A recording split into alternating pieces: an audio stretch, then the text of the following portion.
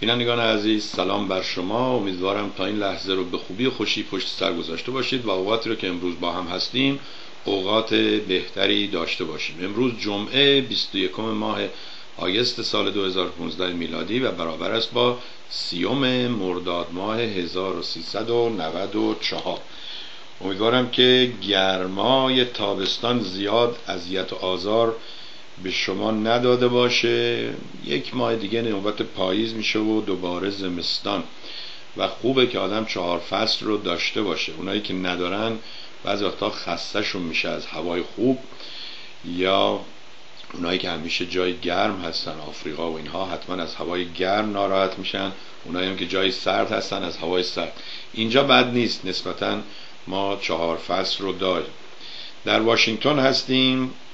واشنگتن D.C. District of Columbia که ما ایرانی ها بهش میگیم واشنگتن دیزی چون مثل دیزی همه چیز داخلش پیدا میشه. از گوشت و نخود و لوبیا و گوجه فرنگی و هر چیزی که بگی هر کسی از هر راهی آمده بالاخره توی این دیزی توی این ظرف دیزی یک موادی انداخته. و اما این برنامه را شما ممکنه از طریق یو استریم هم بشنوید. فعلا نبینید قیافه ما رو وحشت نکنید و صدامون را از اونجا می‌تونید بشنوید که روی فیسبوک با شما اون رو شیر می‌کنین با شما در میون می‌ذاریم با شما سهیم میشین. و حقیقتش گاهی وقتا دیگه ما کشش و توانایی و قدرت نداریم تا اینکه ببینیم یه دوستی زنگ می‌زنه میگه که من می‌خوام حمایت کنم. میگیم خب میگه اگه خواستی با کردیت کارت و اینها یا با ایمیل برایش پاسخ میدیم میگیم که بفرمایید ما ممکنه الان شما خواب باشی یا در حال رانندگی باشی مزاحمت نمیشیم. بعدا می‌نویسه که سربی جان تا تنور داغه بچسبون. نون رو. وقتی یکی زنگ می‌زنه میگه می‌خوام حمایت کنم پشت گوش ننداز. گفتیم چشم آمدیم و در حال خندیدن به ایشون تماس گرفتیم دیروز و این دکتر عزیز گفت که شماره کردیت کارت من این است و آن و اما توضیح داد که چرا حمایت می‌کنه. گفت که من منت به سر شما نمی‌ذارم ولی من هر تلویزیون رو که تماشا می‌کنم نمیگم که اینها میلیون ها بیننده دارن و میلیون ها نفر دارن به اینها کمک می‌کنن پس احتیاجی نیست که من کمک کنم.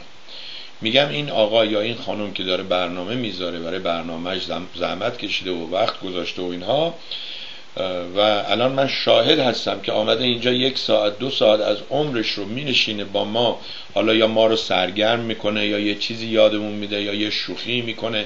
یه جوکی میگه. هر چیزی هست که من بالاخره نشستم نگاه می‌کنم من خودم رو موظف می‌دونم. این کلمه رو که گفت حالا شماها باز ما رو مسخره کنید بگید سربی خیلی سیسیه خیلی سوسوله. این کلمه رو که گفت من واقعا اشکم در اومد که ای کاش ما چهار نفر مثل این آقای دکتر در جامعهمون داشتیم که خودشون رو موظف می‌دونستن و مکلف می‌کردن که برن تکلیفشون رو انجام بدن. ایشون گفت من وقت زیادی ندارم برای تلویزیون نگاه کردن ولی هر موقع نگاه می‌کنم سعی می‌کنم توی اون ماه اگه مثلا برنامه شما رو نگاه کردم ده مرتبه ده تا پنج دلار پنجاه دلار و همه الان از حساب من کم کن. گفتم چشم از حساب شما کم کردم دوست عزیز و ممنون و متشکرم. و اما دوستی به آقای دکتر نصر احمدی تماس گرفته بود و من واقعا اون وقتا که این آقای نادر نادرپور می اومد و می‌گفت که ما عوضی شنیدن و عوضی گفتن رو باید یه جوری از جامعهمون بیرون کنیم به خودم می‌گفتم این چی میگه؟ اون موقعم جوانتر بودم دیگه. 20 سال 25 سال از حالا جوانتر بودم. حالا می‌فهمم که اون بنده خدا چی می‌گفت. پس یه چیزایی رو که وقتی یه کسی می‌دونه میگه ممکنه من 20 سال 25 سال بعد بهش برسم. این عوضی شنیدن ما و اینها من اون روز که آقای احمدی وقتی زنگ زدم گفتم شما روی ایر هستی. ایشون گفت آقا شما چرا زنگ نمی‌زنی؟ بعضی ها می‌خوان حمایت کنن. من گفتم ببین آقای پیام امیر سلیمانی احمق من حتی اونایی که می‌خوان حمایت کنن وقت ندارم به تلفناشون جواب بدم. چون اگه می‌خوان حمایت کنن دیگه چرا با آقای احمدی زنگ می‌زنن؟ مستقیما اینجا زنگ بزنن ما هم که هر کسی حمایت می‌کنه به ایشون میگیم و اینها. و یه دوستی اینو شنیده حالا شما ببینید اینو چجوری شنیده. که رفته به آقای احمدی گفته که آقای پیام امیر سلیمانی می‌خواد به برنامه شما کمک کنه و گویا سربی زنگ نمی‌زنه بهش. گفتم آقا خیلی کارمون خرابه. به خدا آقای احمدی شما هشت سال وقت گذاشتی قانون اساسی نوشتی. عزیز من مشکل ما قانون اساسی نیست. اگه قانون اساسی بود که من یه نسخه از قانون اساسی آمریکا رو ور میدارم فارسی ترجمه می‌کنم میارم ایران. ببین شما مشکل ما اجرا هست عمل کردن گوش دادن فهمیدن. بعض وقتا یه چیزی رو گوش میدیم میشنویم ولی نمی‌فهمیم. دیدن فهمیدن باز یه چیزی رو می‌بینیم ولی نمی‌فهمیم. مشکل ما اونه. بیاین در این موارد صحبت کنید ممنونم از یک که دوستان آقای مرتزا آقا محمدی دکتر مرتزا آقا محمدی باز با من آشتی کرده. میگه که سربی اگه می‌خوای ازت راضی باشم یه بلیت رفت و برگشت برای من بفرست تا من بیام ببینمت و با هم یکی دو ساعت صحبت کنیم و من آشتی کنم با شما. گفتم خدا ای کاش که همه مشکلات من همین بود. این که خیلی ساده است. اصلا لازم نیست من بلیت برای شما بفرستم. شما برو تو فرودگاه همون شهری که هستی. قبل از اینکه بری زنگ بزن یه تاکسی بیاد سوارت کنه برو فرودگاه. مهمون من از همونجا شروع میشه. اونجا که رسیدی فرودگاه برو به این کلرکا یا اینایی که پشت این صندوق ها وایسادن پشت اون چه می‌دونم میز کیوسک دسک هرچی وایسادن بهشون بگو که من می‌خوام با سوربی دوست باشم و سوربی گفته یک بلیت رفت و برگشت به من بدید افتخاری. اونها افتخار می‌کنن که به شما یه بلیت رفت و برگشت بدن. اونم چه بلیتی؟ فرست کلاس اون جای درجه یک. برو برو عزیزم. پس با امید دیدارت خیلی ممنونم که ایمیل زدی یا روی فیسبوک هرچی و اما نظر شما بینندگان در برنامه درباره برنامه آقای بابک هروی برنامه های قبلی ایشون درباره برنامه آقای احمدی و خداییش بگم. شماها کاملا درست میگی. یکی از دوستان دیروز زنگ زد. من اینجا باشم تلفن ها را جواب میدم. زنگ زد و آقای سوربی شما داری بدقولی می‌کنی. گفتم چرا؟ من چه قولی دادم که انجام ندادم؟ بعض وقتا بد نیست آدم بد قول باشه. دیدی میگن بچگیاتم بد قول بودی خب طرف بد قول باشه الان وضعش خوبه دیگه. اگه سر قولش رفته بود ممکن بود به جای خطرناک بکشه در هر صورت گفت که شما قول دادی که برنامه های سربی با مردم سربی باشه با مردم. بعدم میگی که من دیگه سعی می‌کنم این کارو نکنم. دوباره هفته آینده دوباره یه برنامه یه اکیژنی یه ایونتی اکیژن همون اوکازیسیون تو ایران می‌گفتیم که اونم فلاو فرانسوی بود. در هر صورت دوباره این دوستان رو میاری تو برنامه خودت با وجودی که این دوستمون اتفاقا تو خیلی هم بابک و دوست داشت. گفت با وجودی که ما برنامه اینا رو دوست داریم لذت می‌بریم ولی بعد می‌بینیم برنامه شما دیگه وجود نداره. شده برنامه شما با بابک برنامه شما با آقای دکتر احمدی و یه فکری به حالش بکن. شانس بودم که این دوستمون احمد همشهری نبود. چون این تا حرف می‌زنه منو تهدید می‌کنه میگه سربی از دست تو من می‌خوام برم مرگ موش بخورم. اون وقتا می‌گفتن احمد جان از دست شپش که یقه پاره نمی‌کنن حالا شما از دست سربی می‌خوای بری مرگ موش بخوری؟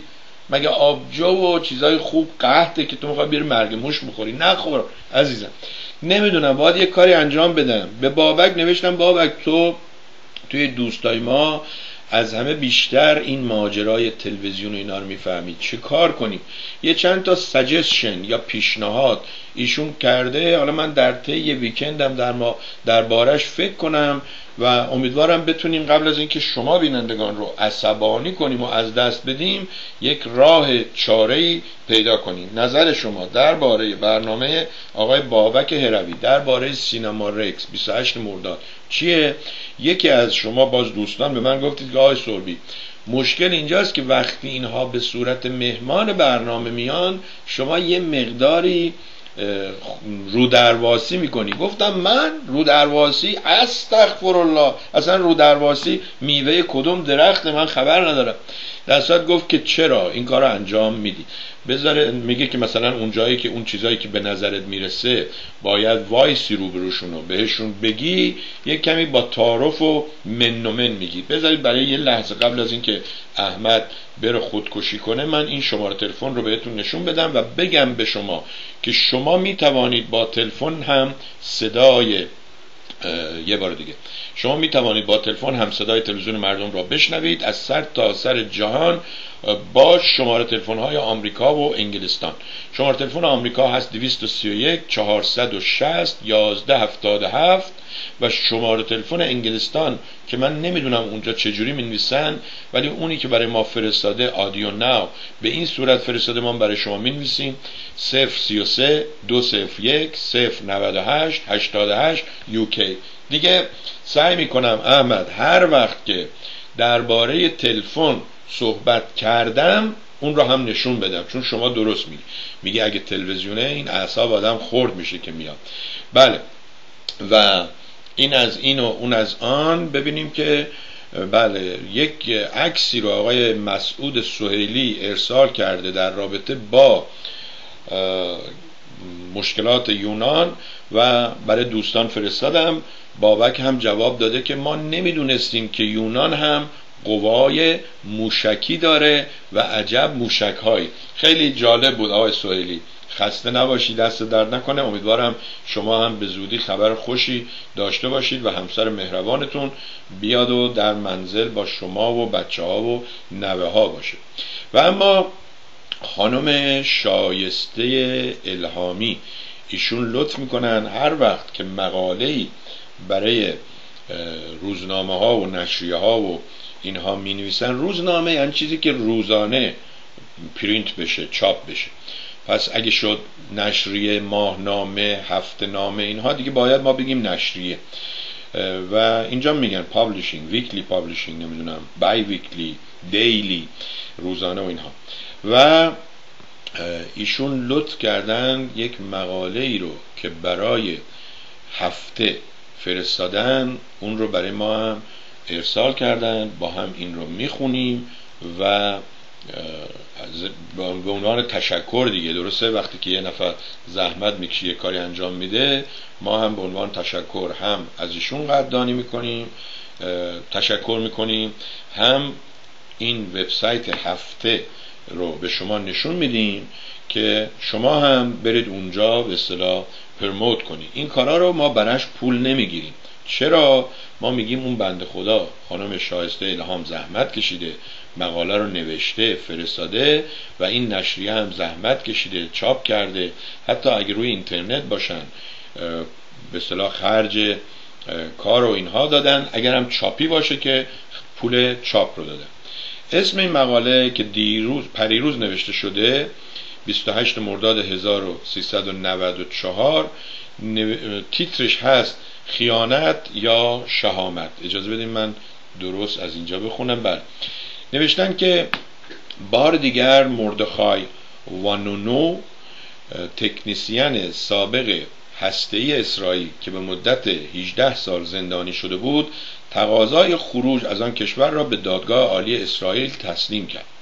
در سال 1986 پس از اینکه جزئیات اسرار هسته‌ای نظامی اسرائیل در روزنامه انگلیسی ساندی تایمز درس کرده و پرده از ابهام آن کنار رفت او به خیانت و جاسوسی متهم شد. اخیرا او درخواستی به دادگاه عالی داده است و در آن خواسته تا به اون اجازه بدهند تا کشور اسرائیل را برای مدتی ترک کند. قرار است این درخواست در ماه آینده به وسیله دادگاه عالی بررسی شود. این خبر توسط وبسایت یونیت نیوز یا نت نیوز ممکنه وایش خونده نشه گزارش شده و از طریق Times of Israel منتشر شده است. از سال 2004 بعد از آزادی از زندان این هشتمین درخواست او است. برخلاف دفعات قبل او این بار خواسته که اجازه بدن تا برای دیدار اقوام همسرش که در خارج زندگی می‌کنن برای مدتی اسرائیل را ترک کنند. برای آزادی از زندان او مجبور به قبول محدودیت های شده است از جمله اینکه او نباید به کشورهای خارجی مسافرت کند نباید راجع کارش در مرکز تحقیقات هسته‌ای Negev Nuclear Research Center با دیگران صحبت کند و نمی‌تواند بدون اطلاع دادن به مراجع قانونی خانهش را ترک کند یا بیشتر از نیم ساعت با افراد خارجی ملاقات داشته باشد. در سال 2007 او به دلیل اینکه این محدودیت ها را نادیده گرفته بود برای شش ماه اضافی به زندان رفت. او را در مسافرتی به طرف وست بانک از طریق بتلهم بتلهم همون جایی که میگن حضرت مسیح دنیا اومده. بتلهم که از خانه او در اورشلیم دور شده بود یافتم قاضی مربوطه یه والتزور یا یو التزور که او را برای شش ماه به زندان فرستاده می‌گوید به نظر می‌رسد متهم با ناقابل دانستن این محدودیت ها و و با به آنها اهانت کامل خود را آشکار می کند او در حالی او را به زندان میفرستد که از این مسئله اظهار تأسف می کند بیشتر یا پیشتر زمان او بیشتر زمان او در حبس های انفرادی و مجردی و در این مدت طولانی مدت زندان گذاشته. بیشتر زمان او در حبس های انفرادی و مجرد مجردی در این مدت طولانی مدت زندان گذشته است. منظورشون این که بیشتر تو حبس انفرادی بودن. علا رقم درخواست های مکرر او بعد از آزادی از زندان دادگاه به طور دائم این محدودیت ها را پابرجان نگاه داشته است. در درخواست های قبلی او به دادگاه عالی گفته است که زندگی در اسرائیل برای او غیر قابل تحمل است و خواسته است که آن محدودیت ها را بردارند تا کشور را ترک کرده و یا با خارجی ها ارتباط داشته باشد. او گفته است من نمی‌خواهم در اسرائیل زندگی کنم. در حالی که به زبان انگلیسی در دادگاه صحبت می‌کرد اضافه کرده است تا زمانی که اجازه ترک از کشور را نداشته باشد به زبان هبرو صحبت نخواهد کرد. او در سال 1980 به دین مسیحی درآمده است و بنابر ادعایش از زمانی که این موضوع بر ملا شده است مورد آزار و اذیت قرار گرفته. او گفته نمی‌تواند در اسرائیل به عنوان یک محکوم به جاسوسی به عنوان یک خائن. کجا رو من دارم نشون میدم؟ خیلی رفتم بالا نه؟ بله. این اشکال ما است که وقتی ما اینجا می‌خونیم یه نفر نیست که اون رو تنظیم کنه. بله. درخواست های قبلی و اینها اون در سال فلان به دین مسیحی آمده و اون گفته نمی‌تواند در اسرائیل به عنوان یک محکوم به جاسوسی به عنوان یک خائن دشمن و از همه بدتر یک مسیحی زندگی کند. مورد خایوان کار گذشته خود را با عمل ادوارد سنودن کارمند سابق آژانس امنیت ملی آمریکا NSA برابر و همانند می‌داند. او در سال 2013 می‌گوید سنودن بهترین مثالی است برای کاری که من در 25 سال گذشته کردم. وقتی دولت خلاف قانون عمل کند و حقوق بشر و حقوق انسانی را پایمال می کند مردم حرف می‌زنند کاری که او کرد. صحبت و عکس عمل از طرف همه بود همان کاری که من کردم و از طرف همه حرف زدن. بله ممنونم. باز هم یه بار دیگه هم از خانم شایسته الهامی هم از نشریه هفته dot CA یعنی همون کانادا. می‌دونید که این وبسایت و اینها وقتی درست شد خیلی مثلا IR مال ایران US مال آمریکاست CA مال کانادا DE مال آلمانه و الی آخر. در صورت اینها آدرسشون هست هفته همون جوری که می‌نویسیم هفته H A F T E H H آخرشون یادتون نره. ای و مقاله خانم شایسته الهامم در اونجا هست. می‌تونید دنبال کنید و از ایشون خواستم که هر وقت مقاله نوشتن لینک اون مقاله رو برای من و شما که جزو دوستانشون هستید ارسال کنن. خیلی بهتره چون بنده خدا باز همون نوشته رو میفرستاد و بعضی وقتا وقتی نوشته رو میفرستن کلمات فارسی بستگی به ایمیل های به سیستم های ایمیلی که ما استفاده می‌کنیم یا یه دوست دیگه چیز میشن میریزن به هم دیگه. واقعا چنان این هایی که در به اصطلاح مسئولیت این اینترنت و browser و ویندو و اپل و مک و اینها رو دارن دنیا رو واقعا سخت کردن برای آدم های معمولی که گاهی وقتا آدم اصلا دیگه بیچاره میشه. یعنی شما نگاه کنید تا قبل تا چندی وقت پیش به این صورت بود که وقتی یه پروگرام جدیدی رو می به غیر از اینکه خودشون حقوق می‌دادن به افراد خودشون به یه عده که وارد بودن می‌گفتن شما بیاین کمک کنید به ما مشکلات این پروگرام رو به ما بگید. حالا بعضی از اینها پول می‌گرفتن بعضی هاشون مجانی بود و اینها ما کاری نداریم. ولی الان ویندوز 10 آمده گفته ما چرا این کارو بکنیم؟ ما مردم رو مجبور می‌کنیم که ویندوز 10 رو بذارن بعد اینجوری بیشتر و زودتر مشکلاتشون به ما میگن. یک مصیبتی درست کردن. مثلا خود من اولا با وجودی که ویندو browser اینترنت اکسپلورر دارم فایرفاکس دارم کروم دارم ولی وقتی که واز می‌کنم ویندوز 10 اصلا یه browserی اینجا واز میشه که نمی‌ذاره home page تو انتخاب کنی. معمولا یا یاهو رو میچپونه به شما یا بینگ رو غالب می‌کنه به شما یا گوگل رو می‌کنه به شما. و خیلی کارا رو مشکل کردن. در صورتی که ما اون موقع ها یاد گرفته بودیم اگه می‌خواستیم با کار کامپیوتر با کامپیوتر کار کنیم یه چند روز یه چند ساعت کلاسش رو می‌دیدیم. مثلا داداش من که خودش کامپیوتر و اینها رو درس می‌داد به من یاد داد. بعد بیشتر یاد می‌گرفتیم. الان این روزا روی یوتیوب و اینها هست. ولی بعدا اینها آمدن نوید و شادمانی و مژده مژده plug and play. بزن توی دو شاخش رو بزن توی چیز مثل پلوپز توشیبا. یادتونه؟ کاری نداره. دو شاخه رو بزن تو پریز و برنج و بریز و آماده میشه. ولی الان دیگه اینجوری نیست. شما الان کامپیوتر جدید و نویی که می‌خری میاری خونه اولا اگه اینترنت نداشته باشی به هیچ وجه می‌تونی ازش استفاده کنی. باید اول با اینترنت به اینا بگی که من هستم کجا هستم این آدرس خونمه این اینه. صد جا ازت می‌پرسی می‌خوای ما بفهمیم کجا هستی؟ هی شما میگی نه شما میگی نه شما میگی نه شما میگی نه. آخرش یه جایی یه جون دونه کوچولو فاین پرینت اون پایین گولت زده شما اشتباهی گفتی بله. خیلی زندگی رو بد کردم. دوست من که خودش متخصص این کامپیوتر و این آشغالا و اینا هست گیر کرده بود. میگه آقا این به اصطلاح اینترنت من رو یا اون network داخلیمون رو وصل نمی‌کنه. خود ما قسمت یو استریم رو روی یک کامپیوتر روی یک browserهای کار نمی... کار نمیندازه. و خلاصه روزگار غریبی است نازنین. شما هم اگر سوالی چیزی دارید قبل از اینکه خرابترش کنید از یک کسی که وارده بپرسید مخصوصا اونایی که قبلا این مشکل رو داشتن ممکنه به اون وقتا می‌گفتن طلفت العین یعنی یک چشم به هم زدن بتونن شما رو کمک کنن. حالا یه راه دیگه ای که هست اینترنت یوتیوب حتی روی گوگل به عنوان جنرال کوشن به عنوان یه سوال عمومی بپرسید. اولا یه حسنی داره شما می‌بینی میلیون ها نفر مثل شما هم این اشکال رو داشتن. بذار بیشتر بگیم. چندین میلیون داشتن که مثلا میلیون ها نفرش آمدن نوشتن. اونایی دیگه من بنویسم که رو گوگل نمیره. باید بلد باشی و فلان اینا. بماند در صورت اگر ویندوز 10 رو گرفتید و نمی‌تونید برنامه های ما رو مستقیم ببینید فعلا از روی یوتیوب از روی آرشیو از روی بایگانی از روی یو استریم از روی فیسبوک نگاه کنید تماشا کنید تا درستش کنید. اگر بچه ای دارید دوستی دارید داداشی دارید اینها. اگه نه بهتر از همه چی این دوست این هست.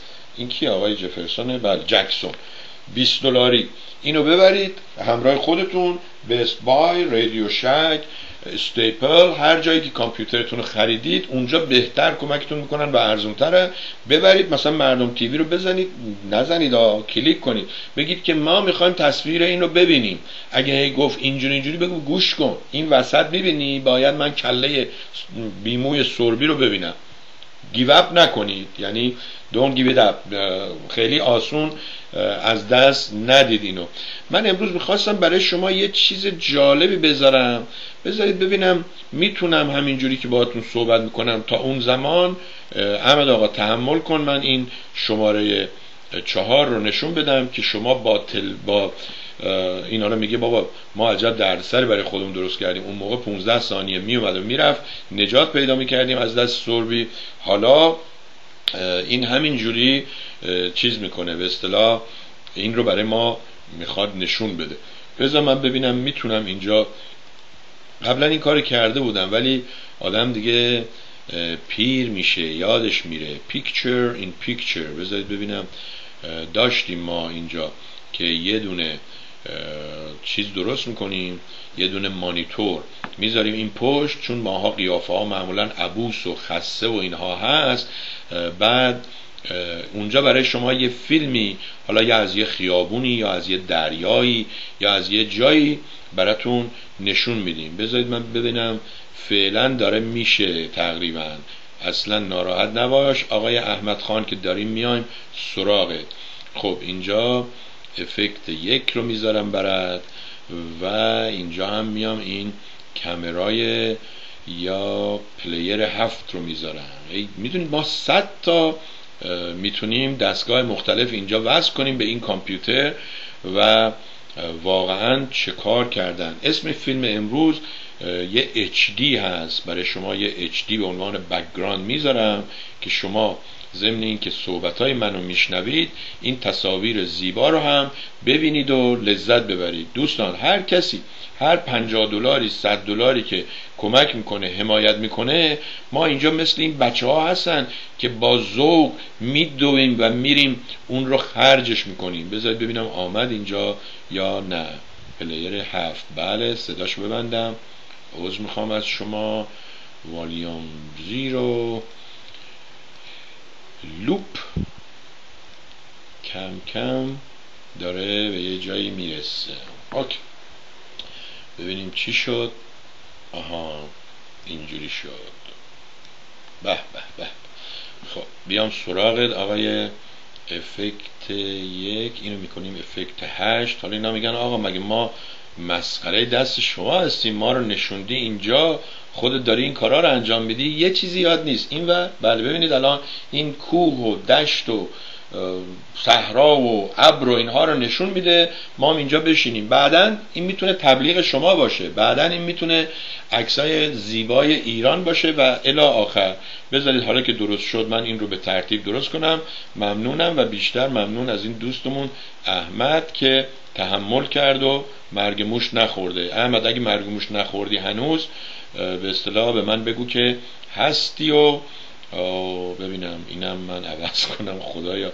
اینا رو قرار بود من درست بکنم نمی‌دونم. امروز اتفاقا برنامه کانون آوا یه سی چل دقیقه هم ما وقت داشتیم ولی تنبل بازی گویا در آوردم و به این کارها نرسیدم. یا اینقدر کار زیاده که آدم یادش میره. تلفن نمبر و اینفو اینو که ما داریم دیگه چرا اینو گذاشتیم اینجا؟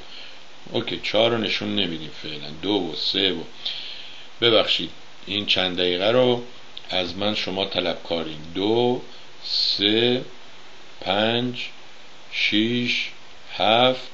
آها شیش و هفت باید اون اکو رو بذارم اکو نه افکت رو بذارم براتون که لذت ببرید. حالا امیدوارم دستگاه ما هم با همون یاری کنه و اذیت نکنه. اینجا بارها گفتم همه بکنید یاری تا سربی بکنه تلویزیون داری. یکی از دوستان گفت سربی به زودی میام کانادا یا آمریکا. گفتم بیا برای شما یه تلویزیونی می‌زنیم شما بیکار نباشی. البته یادتون باشه خیلی از ماها از بیکاری رفتیم تلویزیون زدیم. چطوره آقای احمد خان بابک خان دوستان دیگه؟ اگر برنامه رو الان زنده می‌بینید به من خبر بدید. اگر نه بعدا که این برنامه رو روی یوتیوب می‌بینید احتمال زیاد اینم هست. یه تصویری بذاریم. حالا من این اندازه رو باید درستتر کنم. بذارید ببینم بلدم که اندازه رو درستتر کنم یا جاشو جابجا کنم. مثلا می‌تونم اینو از این ور بیارم اینجا. مثلا می‌تونم بذارم جای صورت خودم. چقدر جالب میشه به جای اینکه قیافه خسته ما رو ببینید اینو بذاریم. این ور بهتره یا اون ور بهتره؟ یا اصلا ولش کنیم فعلا. چی شد؟ هستش؟ اوکی همینجا فعلا باشد این ور حالا اومد.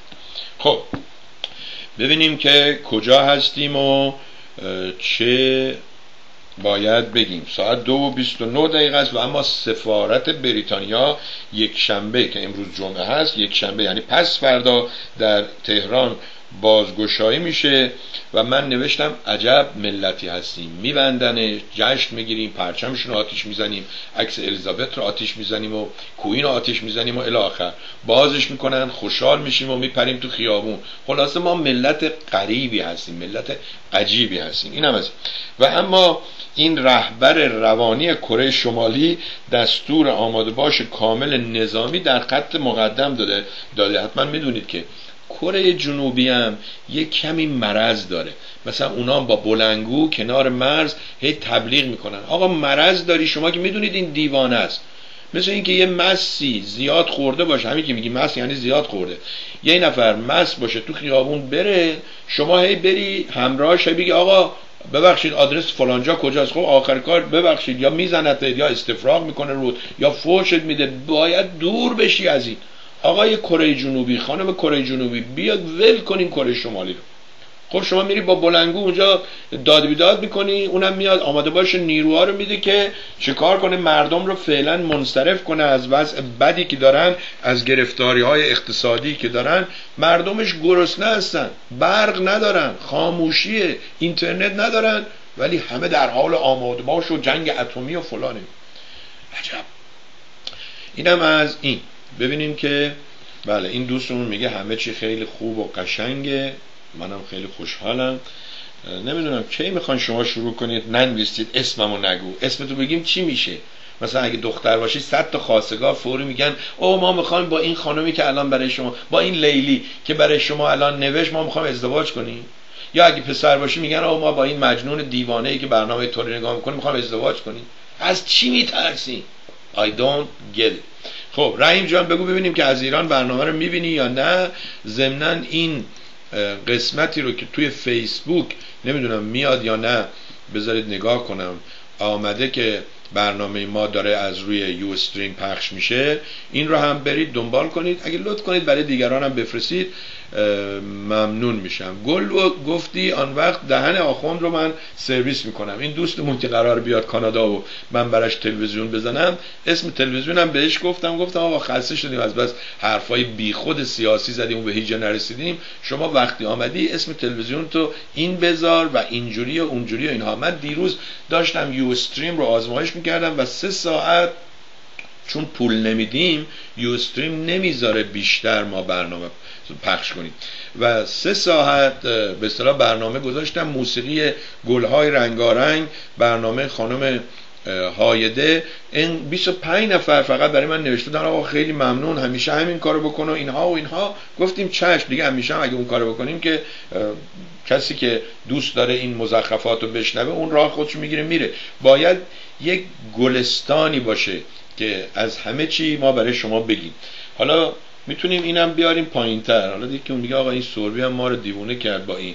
بیاریمش اینجا باشه اصلا. یا نه اون میره پشت چیز. اینجا باشه. جلو کاغذامون اینا رو بگیره. دوستان این کاری که ما الان با یک حرکت ماوس انجام میدیم اون موقع باید با این دستگاه های پناسونیک و نمی‌دونم صد تا سویچه رو ویدیو می... اصلا دیگه اسمهاشون هم یادمون رفته. بهش گفتن AV میکسه آدیو ویدیو میکسه با اینا اینو جابجا می‌کردن عوض می‌کردن الان همه کارش با همین یه نفر میشینه اینجا انجام میده. امروز ساعت چهار بعد از ظهر آقای حسن ارشاد برنامه چهل هفتمین خودش رو داره. موضوع برنامهش هست. تحلیل مقاله آقای تورج امینی در رد نظر مهرنگیز کار پیرامون محرومیت زنان از حضور در بیت العدل همینجا. من بدون اینکه ویدیویشون رو دیده باشم می‌خوام از آقای تورج امینی سوال کنم. آقای تورج امینی مگر بیت العدل ننوشته که این یک مسئله هست که ما براش پاسخی نداریم؟ شما با این حرف جلو خانم مهرنگیز کار می‌خوای وایسی؟ جلو آقای حسن ارشاد می‌خوای وایسی؟ یا جلو بیت العدل خودتون می‌خوای وایسی و بگی که بیت العدل همه چیز رو نمی‌دونه و من می‌دونم؟ خوشحال میشم شما رو هم داشته باشم. اینم از این. و همیشه آقای ارشاد گفته اگر دوست یه جوری بد شد ببریمش بالا دوباره. طرف میگه آقا دیگه امروز سوربی همین کم داشت که این اسباب بازی بیاره مگه دیگه ول می‌کنه؟ خب بله این آقای حسن ارشاد بارها دعوت کرده. همونجوری که ما توی برنامه جدا شدگان مجاهدین از کانون آوا از مجاهدین درخواست می‌کنیم اگر می‌خوان بیان و هیچ وقت نیومدن. آقای حسن ارشادم میگه اگه دوستان بهایی می‌خوان چه در برنامه ایشون شرکت کنن چه جوابگو باشن خیلی خوش آمدن. حالا ببینیم چه خواهد شد. و اما انتشار اسناد محرمانه آمریکا. گوش کنید دوستان گوش کنید مجاهدین بیچاره ای که از مجاهد بودن به نوکری آمریکا، اسرائیل، صدام، عربستان سعودی در اومدید. گوش کنید. انتشار اسناد محرمانه آمریکا درباره برنامه هسته‌ای نظامی اسرائیل. حالا که آمریکا می‌خواد با ایران روابط حسنه برقرار کنه به اسرائیل میگه هی ببین تو از سال 1969 اگه وقت کنم براتون این رو روی فیسبوک باز می‌کنم نشونتون میدم. تا این مجاهدای بیچاره تا این آقای جعفرزاده تا این دوست من مهرداد کالیفرنیا تا اون دوست من آقای علی کانادایی تا این دوست ما آقای فیلابی تا اون دوستان دیگه حسین و شیرین و فلان اینها. اینها بفهمن که راهی رو که مجاهدین رفتن اشتباه بوده. نیم قرن یک سازمانی سابقه داشته باشه امروز شده باشه مثل یک دستمال یک بار مصرف. هر کسی مصرفش می‌کنه بندازه تو سطل آشغال دوباره یه دستمال دیگه دوباره همینجور علاقه. آمریکا آمده اسناد محرمانه اسرائیل رو رو کرده. حالا دیگه هر کدومتون حاضرید در این برنامه بیاین صحبت کنید. خب من چیکار کنم؟ بابک میگه من حاضرم. میاد صحبت می‌کنه بعد شما میگی نه آقا بابک برنامه خودشو داشته باشه. سعی می‌کنم توی این ویکند رازیش کنم. آقا بابک برنامه خودتو بذار یا ویدیو رو درست کن بفرست ما پخش کنیم و توی اون موقع اون تلفن قدیمی تم را بنداز با دوستان تماس بگیر. برنامه هاشون رو به اصطلاح از گفته هاشون چیز کن. اون پیامی هم که من گذاشتم به احتمال 99 درصد درست فکر می‌کردم. همون آقای شهرام مفتخور بود که یه پولی هم به ما بدهکار خوبیش به که اینجا همه به ما بدهکارن هیچ که طلبکار نیست الحمدلله. و فهمید که بابا این سوربی یه دو تا سلول مغزش هنوز سالم مونده. این آقای چیز میگه؟ آقای دکتر نصر احمدی میگه اگه کسی دو سلول مغز براش باقی مونده باشه به اصطلاح می‌تونه درست تصمیم بگیره. یعنی می‌تونه این رو تشخیص بده. یعنی اینقدر ساده است. صحبت از آقای دکتر نصر احمدی شد. چند تا از دوستان مخصوصا آقای امیر نعمت الله که خیلی با احترام نوشتن این with all due respect این ایشو ننوشتی دی یو ای هست. دیو بعضی ها فکر کنن اصلا دوه دی او می نیستن غلطه دیو ریسپکت دی یو همون که گفتید. با احترام به دکتر احمدی صحبت درباره موسیقی را لطفا به موسیقیدانان بسپارید. حالا ضمن اینکه من با شما هم عقیده هم با شما مخالفم. تا کجا؟ تا جایی که آقای دکتر نصر احمدی به عنوان یک شنونده موزیک و موسیقی حق داره که بگه از چه موزیکی خوشش میاد. به چه دلیلی؟ ولی نیاد بگه اون موزیکای دیگه به درد نمی‌خورن. چون ما اون وقت یاد بابا میفتیم. چند تا بابا نداشتیم ما یه بابا داشتیم. ولی یاد اون میفتیم که میگه آقا این فرخزاد چیه؟ ولی بعدا دیدیم که بابا فرخزاد هنرمنده. بعدم ما به اونا نق می‌زدیم بابا این بنان چیه؟ این شهیدی چیه؟ همش دارن ناله می‌کنن انگار یه کسی دل درد گرفته یا پشت یه دیوار باقی رفته دستشویی اینجوری می‌کنه. این کارو نکنی هر کسی به عنوان موزیک و موسیقی که دوست داره بیاد بگه چه موزیکی رو دوست داره. چه موسیقی رو دوست داره تشویق کنه. بیاد بگه من ایرج رو دوست دارم من گلپا رو دوست دارم من هایده رو دوست دارم من محستی رو دوست دارم. تا اونی که ابی رو گوش می‌کنه شهرام رو گوش می‌کنه گوگوش رو گوش می‌کنه بگه که بذار من برم هایدرم بشنوم ببینم چیه. نه که ما هرچی دوست نداشتیم بگیم بده. من یاد بچه هم داده بودم یا هنوزم خب هستن دیگه که اگر یه چیزی یه جا هست وقتی نمی‌خوان نگن نمی‌خوام قیافشون رو عوض نکنن. بگن که خیلی ممنون الان اینو نمی‌خوام. نگن آه من اصلا دوست ندارم و حالم به هم می‌خوره و فلان اینها. چون ممکنه همون موقع یکی دیگه بخواد. ضمنا اگه این کارو بکنید این خوراک شما دوست نداری میمونه بعد مجبور میشی بخوری. هیچی نگو بز دیگران بخورن برن. من با شما هم هم عقیده هستم بله درباره موسیقی اگه یک کسی بخواد به عنوان دانشجو هنرجو گوش بده باید یه موسیقیدان بیاد صحبت کنه. و آقای نصر احمدی نباید اینجوری می‌گفت ولی آقای نصر احمدی به عنوان یک کسی که موسیقی رو گوش میده و لذت می‌بره حق داره بگه از چه موسیقی خوشش میاد. پس ببینید میشه من با شما هم موافق باشم هم مخالف. چرا؟ درباره یک موضوع در یک جهاتیش در یک قسمتهایش با شما موافق باشم در یک قسمتهایش با هم دیگه مخالف باشم. اینی که میگن اون وجوه مشترک رو پیدا کنید با هم در اون موارد با هم دوست باشید. اینم از انتشار اسناد رو براتون می‌خونم. تصویر ایران رو این تصویر رو آقای گلچین برای من فرستاده. حقیقتا یک کمی وحشت کردم. ما بارها دیده بودیم که نیروهای آمریکایی دوربر ایران چگونه هستن و چنین و چنان ولی این تصویر یک کمی ترسناکه. بذارید من به شما نشون بدم همین کمرای دو با اجازهتون.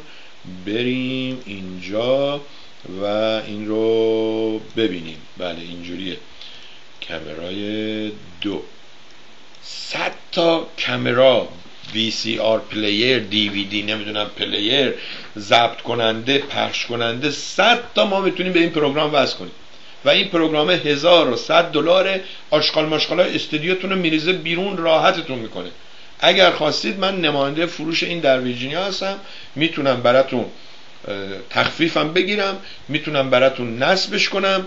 یه سرویس دیگه ای که بهتر این هست بهتر از این اینه که اگرم اشکالی داشته باشیم من می‌تونم به زبان فارسی کمکتون کنم. و الا اینو می‌تونید. شما برید اسمش هست چیز وید بلاسته بری نگاه کنی از خود طرف از هلند بخری. همین قیمتی هم که ما میدیم. ولی هر وقت خواستی زنگ بزنی با سه هفته نوبت بگیری. بری توی فرومشون. بری تو اون سالن عمومی با همه صحبت کنی و الی آخر.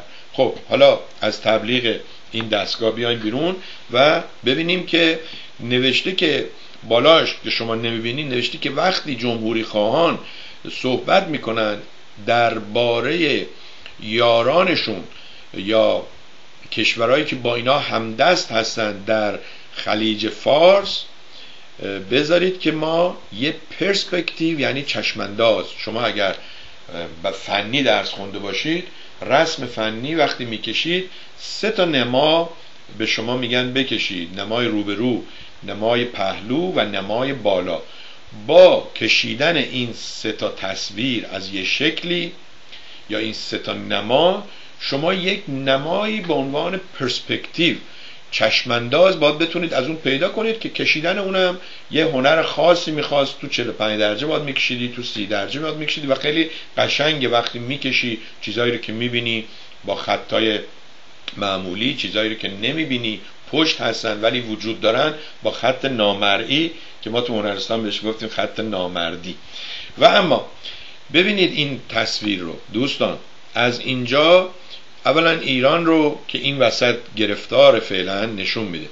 نوشته ایران پرژیا 2800 سال بی سی یعنی بیفور کرایست. 2800 قبل از 2015 میشه تقریبا 4 5000 سال پیش دیگه. 4815 سال. درسته؟ بعد میگه افغانستان رو سال 1938 درست کردن. بلوچستان رو سال 1800 ببخشید اونم 1838 1838 درست کردن پاکستان رو سال 1947 درست کردن عمان رو سال 1749 بعضی ها میگن امان غلطه عمان درسته عمان رو سال 1749 درست کردن امارات متحده عربی رو 1971 درست کردن قطر رو 1971 درست کردن بحرین رو 1971 درست کردن و اما یمن جنوبی شمالی رو سال 1967 درست کردن. کشور سعودی عربیا عربستان سعودی رو سال 1932 درست کردن. کویت رو سال 1968 درست کردن. عراق رو سال 1921 درست کردن. جردن رو سال 1946 درست کردن. جردن همون اردنه اردن هاشمی.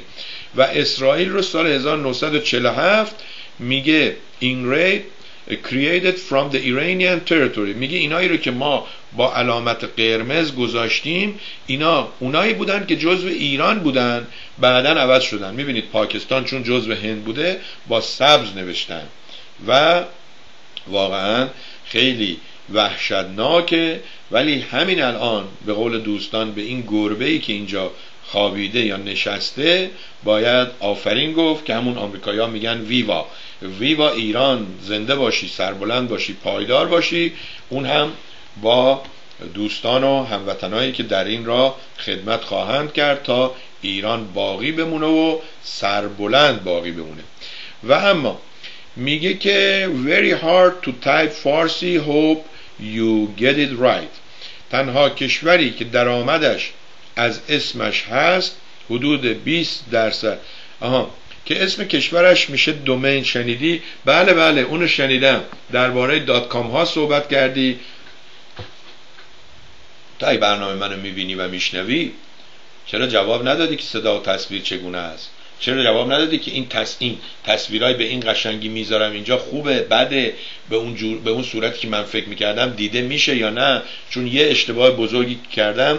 این اندازش با اون PIP picture picture ما یکی نیست و پایین و بالاش سیاه است. خودش ریزه مورچه چیه که دیگه سر کلش هم بزنیم چی میشه. در هر صورت تنبلی کردی. ولی یادمه که کشورها وقتی براشون داشتن چی می‌کردن؟ یک کسی زرنگی کرده گویا یه اسمی رو خریده و حالا ببینیم چی شما اینجا نوشتید نوشته تنها کشوری که درآمدش از اسمش هست حدود 20 درصد بیش از 50 میلیون دلار در عرض 12 سال داشته. حدود 115 تلویزیون دنیا از dot com این کشور استفاده می‌کنن. هست تیووالا تیووالا یا نمی‌دونم چجوری بگیم. آها این تیوی دات تیوی. دات تیوی من واقعا فکر کردم به خاطر تیوی تلویزیون تلویزیون تلویزیونه. ولی گویا این چون یک کشوری اون اختصارش می شده تیوی. به این دادن که نوشته که domain is currently created by TV a version uh, company, oh, company the Tiovalo government owns 20 بله همه توضیحایی که سعید میده. سعید گاهی وقتی زنگ بزن پیامت رو من پخش کنم و چیز کنم. My original email. This is how it looks but when you copy and paste it doesn't look like. آفرین. باریکلا. اولا چرا این عکسه قد کوچولو که من هرچی می‌زنم روش باز نمیشه. من هم به خانم شایسته الهام گفتم که شما اگه لطف کنید وقتی یه چیزی رو با فارسی می‌بینید نوشتید خودتون و خوبه خوبه خوبه همون موقع ازش عکس بگیرید. این رو به عنوان عکس اگه برای ما بفرستید جابجا نمیشه.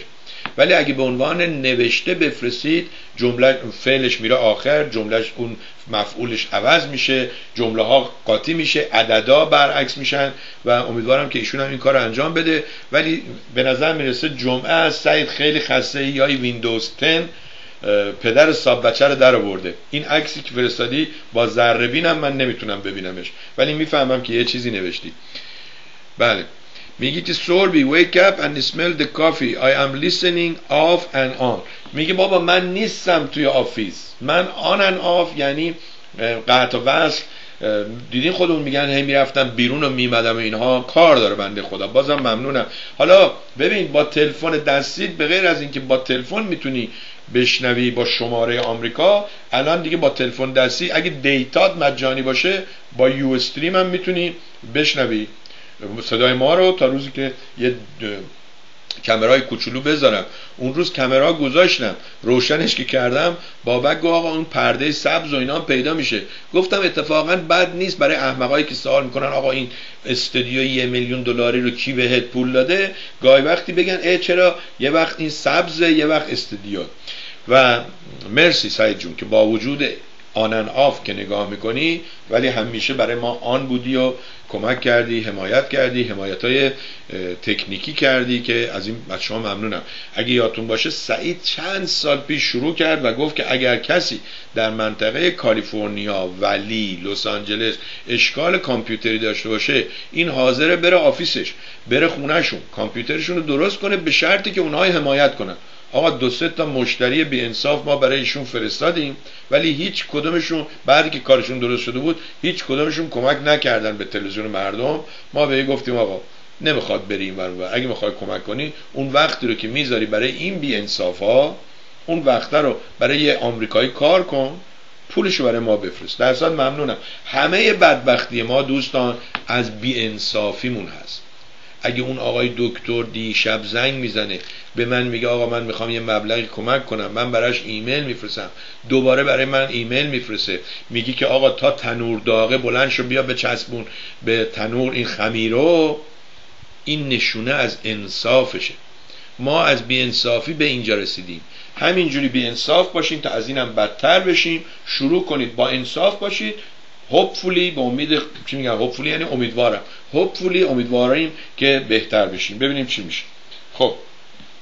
تحلیل مقاله تورج امینی در مورد در رد نظر مهرنگیز کار پیرامون محرومیت زنان رو ساعت چهار بعد از ظهر آقای حسن ارشاد از ایران ویدیو فرستادن.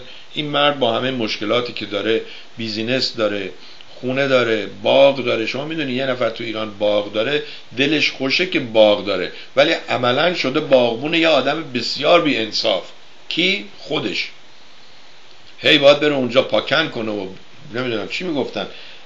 هست حسن نمی‌دونم. وقتی برگ درختار رو می‌زنن و کوتاه می‌کنن که این میوهش زیاد بشه اون سایش زیاد بشه و الی آخر. باغداری می‌کنه.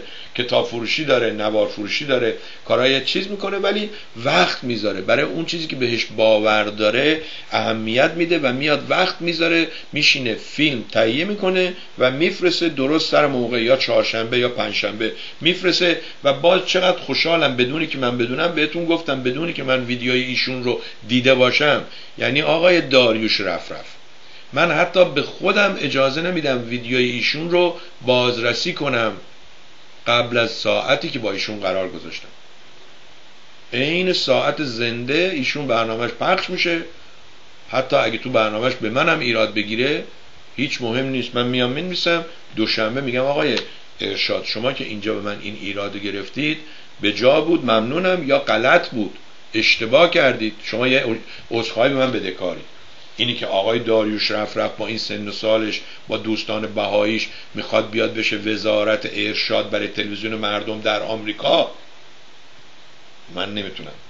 و خجالت آوره که آقای عطا معینی هم تو همین دار دسته این دوستان بهاییه که از اون ورنگن ایران آزاد نیست و اینها. بعد اینجا هم اینا می‌خوان بکنن مثل ایران. پس میگی دستی با هم براریم. فرقی با هم نداریم. اگه شما به قدرت رسیدی دیکتاتور نشدی درسته. ولی هر کی قدرت دار میشه دیکتاتور میشه که خب چه فرقیه؟ برنامه های زنده تلویزیون مردم روی یو استریم بذارید یک کم بهتون تکنیکی نشون بدم. چون ما بعضی از دوستان خودمون رو زدیم به گیجی و هی میگیم آقا من دیگه ازم سنی گذشته من دیگه یاد نمی‌گیرم. چرا؟ چون تنبلی. براتون درباره تنبلی یه جوکی یه دوستی برای من فرستاده بود. گفت آقا شما شیرازی هستی؟ گفتم بله. گفت یک ضرب المثل شیرازی هست. گفتم بگو. گفت آخه منم شیرازی هم انقدر تنبلم که نمی‌تونم بگم. یه ضرب المثل شیرازی هست چون اینا بیحالن نمیگن که این ضرب المثل چی. حالا بخندید که ما خوشحال بشیم. شما ببینید اگر از روی فیسبوک ما مردم تیوی ببینم درسته؟ نه توی صفحه خودم هستم. اب نداره توی صفحه خودمونم باشید. ببینید توی صفحه سوربی هم که باشید اتفاق فکر کنم این میره به صفحه خود من نمیاد توی فیسبوک مردم تیوی. خوب شد این باز شد. ببینید اگر توی صفحه سوربی باشید با وجودی که اینجا نوشته مردم تیوی و اینها وقتی که یو استریم برنامه زندش رو شروع می‌کنه خودش خود به خود این عکس رو میفرسه و میگه که ما الان برنامه سوربی رو داریم پخش می‌کنیم. اون ببینید شما خیلی قشنگ میای اینجا ای کاش این فیسبوک الان که همه کامپیوترها پنه این یکم میره به طرف پنا و از اون هنوز اینا رو اون 600 800 نمی‌دونم چرا. در هر صورت روی این عکس که کلیک می‌کنید ببینید شما رو کجا می‌بره. شما رو می‌بره توی یک صفحه ای که مربوط به Ustream ه ببینید نوشته که سوربی با مردم یک آگهی هم فوری میچپونه توی حلقتون تا زمانی که شما دست بکنید به جیب مبارک و حاضر بشید ما 4 5 دلار به اینها بدید. شما به ما ببینید اینجا می‌نویسه live وقتی live هست یعنی ما داریم برنامه پخش می‌کنیم. ولی چند ثانیه بعضی وقتا حتی یه دقیقه ممکنه طول بکشه. و وقتی آدم منتظره هر ثانیه میگو هر هر دقیقه به 200 سال گذشت و اون شعر درسته. مخصوصا الان که کامپیوترهای ما اینجا همه داریم استفاده می‌کنیم و داریم انکود می‌کنیم و ضبط می‌کنیم و استریم می‌کنیم و اینها. اینم چون ویدیو هست ویدیو خیلی جون اینترنت رو می‌گیره دوستان. وقتی به من زنگ می‌زنید بگید آقا ما ویدیو که نگاه می‌کنیم صداتون قطع و وصل میشه فلان. برای که اینترنت شما یا اینترنت ضعیفیه یا اینترنت از مکدونالد داری کش میری یا از 7 داری کش میری یا از همسایت داری کش میری و الی آخر. در هر صورت. این ببین هنوز خودش شروع نشده دو سه تا تبلیغ داره به خورد ما میده. میگه اگر می‌خوان player جدید استفاده کنید اگه نمی‌خواین این تبلیغ رو فعلا بشنوید. خلاصه بعد که اینجا شما زدی و آمدی و اینها اینجا شروع می‌کنه یه تبلیغ ویدیویی بهت نشون میده. بعد صدای ما رو فعلا میشنوی تا روزی که من یاد بگیرم از اون دستگاه 1100 دلاری که بهتون گفتم از وید بلستر یه دونه اینپوتم به این بدم. هر روز روز یاد گرفتنه. حالا اگر وقتی آمدید اینجا برنامه ما نبود زنده ما این رو یه جوری گذاشتیم که برنامه قبلی رو نشون بده. ولی اگه نشون نداد و تنبل بود و اینها بیان این سمت راست ببینید می‌زنید ویدیو. مثلا من برنامه خانم هایده رو پاک کردم مال دیروز بود. برنامه کانون آوا رو. چون همزمان روی یو استریم هم پخش می‌شد اینجا پخش کردم. و ببینید الان من اگه روی این بزنم قانونا باید اونو پخش کنه. ولی الان بهتون میگم چون دو سه تا کامپیوتر و ده تا انکودر و فلان هست یه مقداری اسلوه. پس بذارید اینو خاموش کنیم که به زندگی معمولیمون برسیم. پس این شد قسمت یو استریم اما آمدم یک کار دیگه انجام دادم. در رابطه آها اینم برنامه ای که من دارم الان خودم رو همین کامپیوتر دارم انجام میدم. می‌بینید که ما اینجا به شما نمی‌دونم شما که می‌بینید اونجا می‌نویسه آدیو اونلی یا چیزی نمی‌نویسه. می‌نویسه که سوربی 56 دقیقه و 49 ثانیه برنامه داری پخش می‌کنی. صدات کوالیتیش خوبه. ویدیوت رو خاموش کردی یا بلد نیستی از اون دستگاه بگیری. به همین خاطر ما تصویر نمیدیم. اینجا میگه که اینجا بنویس و اینجا شیر کن و اینا چیزایی که شما لازم نیست یاد بگیرید ولی بریم سراغ کار جدیدی که انجام دادم روی قسمت آرشیو یا بایگانی. من دیدم توی فاصله ای که من با وجودی که یک ساعت بیشتر طول نمی‌کشه تا برنامهم رو بذارم روی بایگانی خیلی از شماها منو اینجا دیوونه می‌کنین.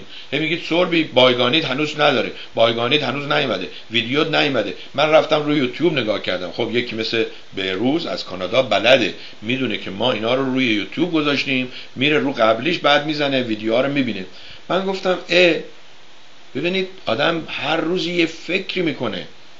آقایی که به من زنگ می‌زنی میگی آقا شما میگی من خودم نادان بودم. آقا اگه من نادان نباشم که زندگی خراب میشه. من اشکالم اینه که اونایی که نادان بودن به شما میگن نه ما اون روزم دانا بودیم. دروغ میگن. هنوز انقدر شجاعت شهامت راستگویی صداقت پیدا نکردن که بیان بگن آقا I was stupid. dumb کم می‌دونستم. و I made mistake. کلی اشتباه کردم. و I do apologize. من, من از شما عذر می‌خوام. معذرت می‌خوام. ببخشید. Forgive me.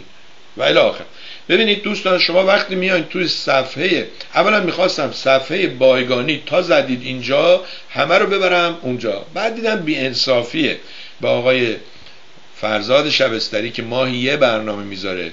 به آقای اجلاری که هفته یه برنامه می‌ذاره. به بابک که الان کلی وقت اصلا دیگه ما توی آرشیو ویدیوهاشو نمی‌ذاریم. به آقای عقیلی پور که 60 تا برنامه اونجا داره. با آقای انصاری که هر از گاهی مقاله می‌ذاره و اینها. بعد اونا بیان توی یوتیوب اینا رو نبینن و ما پولی که از اینا گرفتیم در قبالش کار انجام نداده باشیم. گفتم فعلا مال خودم رو که بیشترین تعداد ویدیو یعنی در هر هفته سه تا ویدیو من دارم شما وقتی میان در صفحه بایگانی روی عکس من کلیک می‌کنید دیگه الان اونا رو نمی‌بینید که نوشته سوربی دیروز سوربی پریروز می‌بره شما رو توی یوتیوب کانال مردم تیوی و تقریبا تمام ویدیوها رو به شما نشون میده. دیگه از این بهتر چی می‌خواین شما؟ بفرمایید. من اینجا بهتون نشون بدم. حسن این کار چیه؟ حسن این کار اینه که شما وقتی میای اینجا آقای مینوی رو که ویدیوشو من با هزار زحمت دیروز گرفتم با کیفیت خیلی بد از تلویزیون ای تو گذاشتم اینجا. ویدیوی آقای احمد علی مسعود انصاری که نوارای قرآن با اون صدای قشنگ آقای انوشیروان کنگرلو رو به فارسی برای شما میگه. ویدیوی برنامه قبلی من با آقای احمدی با آقای بابک هروی با خودم با مردم ویدیوی آقای اجلالی همه اینها رو می‌بینید و ساعتها بلکه روزها بلکه ماهها می‌تونید بشینید برنامه نگاه کنید. یکی اینا رو بزنه ببینه چند ساعته. پس این این بوده. دیگه حالا امیدوارم شما خودتون این رو به نحو احسن استفاده کنید. بریم آگهی رو ببینیم و برگردیم. یه دونه آگهی ما داریم. قرار بود از آقای مهدی مهدیزاده تبریزی هم دعوت کرده بودیم. گفته بود بیستم میاد. دیروز منتظرش بودم که بیاد مصاحبه کنیم ضبط کنیم. امروز نشون بدیم. نیومد. این دوستان پشت کار آنچنانی که لازم هست برای مدرسه برای مؤسسه برای انجمن برای جنبش ندارن. اگه داشتن امروز ما داشتیم اینا رو. میگم آقا اون ماه که میگی خوب بود عالی نبود برای که یه هفته تبلیغ کردی.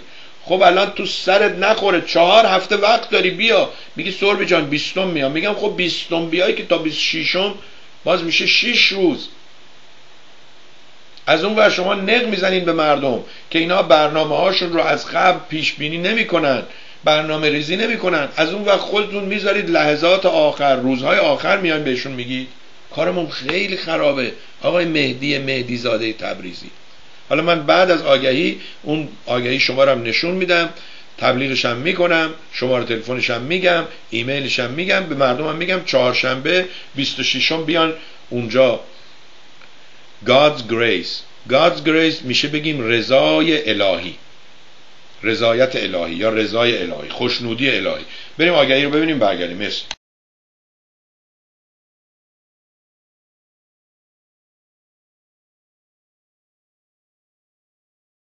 دفتر لطیف زمانی. کارهای حقوقی خود را با اطمینان خاطر به ما بسپارید. لطیف زمانی بهترین مشاور و همراه شما. ثبت شرکت ها و مؤسسات تجاری طبق قوانین و مقررات انگلستان. پذیرش نمایندگی برای شرکت ها و مؤسسات تجاری از هر نقطه جهان. اخذ ویزای دانشجویی. تنظیم قراردادهای تجاری. رفع مشکلات اعتباری. دریافت ویزای سرمایه گذاری و تجاری. تهیه و ارسال اقلام مورد نیاز شرکت ها و مؤسسات تجاری طبق مقررات انگلستان. موبایل 079 58 21 19 11 لطیف زمانی غیر ممکن را ممکن می سازد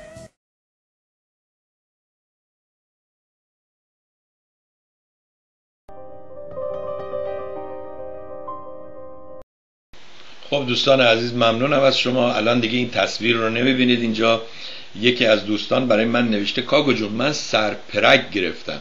این تصویرها که میاد و میره میگه اینا اگه عکسهایی باشه که هر ده ثانیه 15 ثانیه عوض بشه بهتر از این هست که این یه حرکت دائمی پشت صفحه شما باشه و شیرازی ها به سرگیجه گرفتن. میگن سرپرک گرفتم. در صورت این هم از این. Friday big deal بذارید ببینیم چی میگه. سوربی درست نشنیدم. مثل این که گفتی بلیت نظری داری برای واشنگتن خیر کردی. گفتی فقط پول تاکسی خودتون بدید برید فرودگاه. بقیهش مهم نیست. خوب نشنیدم. واقعیت داره. درست شنیدم. بله گوشاتو باز کن. حواستو بده به من. کی گفت پول تاکسی رو خودت بده؟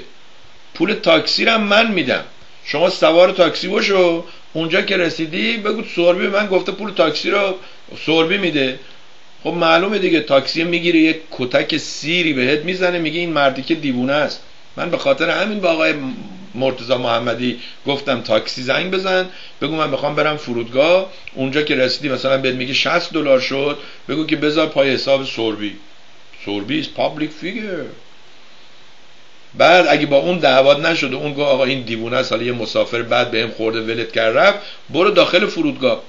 بگو که من اولین پرواز می‌خوام برم ویرجینیا نان استاپ که گرونترین هم باشه. و first class round trip رفت و برگشت. وایسا اونجا تو بهت بلیت بدن اگر به شما بلیت دادن آمدی اینجا مهمون من باش. مرسی که حواست جمع بوده.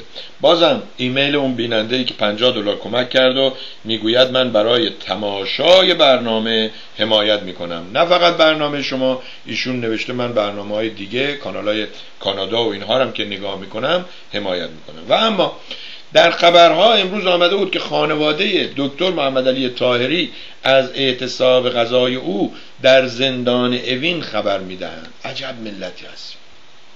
واقعا. و عجب دولت هایی میان به ما حکومت می‌کنن. آقا آقای خامنه ای آقای ما مثل تلویزیون که همش دیدی با خامنه ای اینا حرف می‌زنن. انگار اونا نشستن حوزه علمیه قوم داره تلویزیون اینا رو نگاه می‌کنه. یا جمکران چم چی چم, چم جماران و اینا همه نشستن تلویزیون اینا نگاه آقا اینقدر یکی میگه کشتینش یکی میگه اعدامش کردین یکی میگه حکم اعدامش دادین یکی میگه اتصاب بابا یه ویدیوی تاریخ امروزی بند خدا درست کنه برای خانوادهاش والا نکنید مگه اسلام نگفت اون شعره یادتونه؟ چقدر قشنگ فرهاد خوند. به نام محمد معروف شد ولی اسمش یه چیز دیگه بود. که می‌گفت کفر باقی میمونه ولی ظلم باقی نمیمونه. نکنید انقدر ظلم. تا من این خبر رو می‌ذارم دوستان برای من مینسن آقا خود تو هادی زمانیان میاد میگم میگم آقا من کی گفتم ایشون کشته شده؟ هادی زمانیان گفته بر اثر این شواهد و نمی‌دونم چیزایی که هست و سنگ قبر و اینها ایشون رو کشتن. من کی گفتم؟ من اصلا کجا خبر دارم که ایشون کجا هست کجا بوده کی گرفتنش اینا؟ و اما یه دوستی به نام وحید دوست عزیز من. برای من نشتو سربی. دیدم که چند بار از این برنامه آقای دکتر محمد علی تاهری و اینها به اصطلاح یا نشون میدی یا ویدیوهاشون رو یا یه جورایی کمک می‌کنی دفاع می‌کنی همین که روی فیسبوکت می‌ذاری و اینها. آیا تو به این چی نوشته بود خدایا؟ اون کلمه به این شنگول منگول بازیان نه. به یه چیزی گفته بود که یه جلسه هست گویا آقای دکتر محمد علی طاهری داره نمی‌دونم در رابطه با جن در رابطه با سردرد در رابطه با چیه؟ بهش گفتم ببین وحید خود هادی زمانیانم می‌دونی که من به این چیزا باور ندارم. ولی بذار یه چیزی بهت بگم. توی آمریکا پزشک اون کتاب پزشکی ها چیه؟ امریکن something medicine فلان اینا قبول کردن آقا دعا. لمس کردن تاچ کردن اینها شفای بیمارا رو سرعت میبخشه. و من نمی‌دونم واقعا نمی‌دونم. شاید آقای دکتر تاهری قدرت داشته باشه. اولا اگر جنی وجود داشته باشه من و تو میگیم نداره. آقا از کجا می‌دونیم صد درصد نداره؟ شاید باشه. تا اونجایی که من می‌دونم و باور من فکر می‌کنم هم چیزی نیست. ولی اگر یه کسی باور داره جنی وجود داره و این آقا می‌تونه اون جن رو حتی اگه ازش وجود نداره از مغزش بیاره بیرون یه فیلمی بود سالها پیش ادی مورفی توش بازی می‌کرد. به نام هولی من ادی مورفی اون سیاپوستی است که فیلم های خوبی کمدین بود بعدا پیشه شد. برید اون فیلم رو ببینید. طرف از سوار شدن هواپیما میترسه. این هیپنوتیزمش می‌کنه و این ترس از هواپیما رو از وجودش می‌بره بیرون. بله وحید جان برای من و تویی که از هواپیما نمیترسیم احتیاجی هم به اون شخصه نیست که این ترس رو از وجودمون ببره بیرون. من و تویی که سیگار نمی‌کشیم احتیاجی به دکتر پروفسور مسعود انصاری نداریم که ما رو هیپنوتیزم کنه ترک سیگار کنیم. ولی اون بند خدایی که سیگار می‌کشه تنها راه و امیدش بعد از این همه که پول داده چسب زده فلان کرده ترک نشده آخر امیدش میاد به دکتر مسعود نمی‌دونم چی بود مسعود انصاری که اون بنده خودم فوت شد رفت. اینی که من نمی‌دونم واقعا. برای ایشون نوشتم در بیخبری وحید جان صد مرحله من پیشم. تو بیخبر از این اوضاع و احوال و این بازی ها من بیخبر از خیشم. من از خودم اینجا خبر ندارم. من چه می‌دونم آقای دکتر محمد علی طاهری آیا قدرت داره که یه نفر شفا بده؟ اینجا ما تو تلویزیون ها می‌بینیم. بعضیاش خیلی کلاهبرداریه برید فیلم جان آلیور. این last week tonight یه هم چیزی برنامه داره. واقعا این کمدین انگلیسی قوقا کرده موقعی که راجع به چرچ صحبت می‌کنه. من اگه بتونم برای دوشنبه اینو آماده می‌کنم میارم براتون اون قسمتی که راجع به این کلیساها.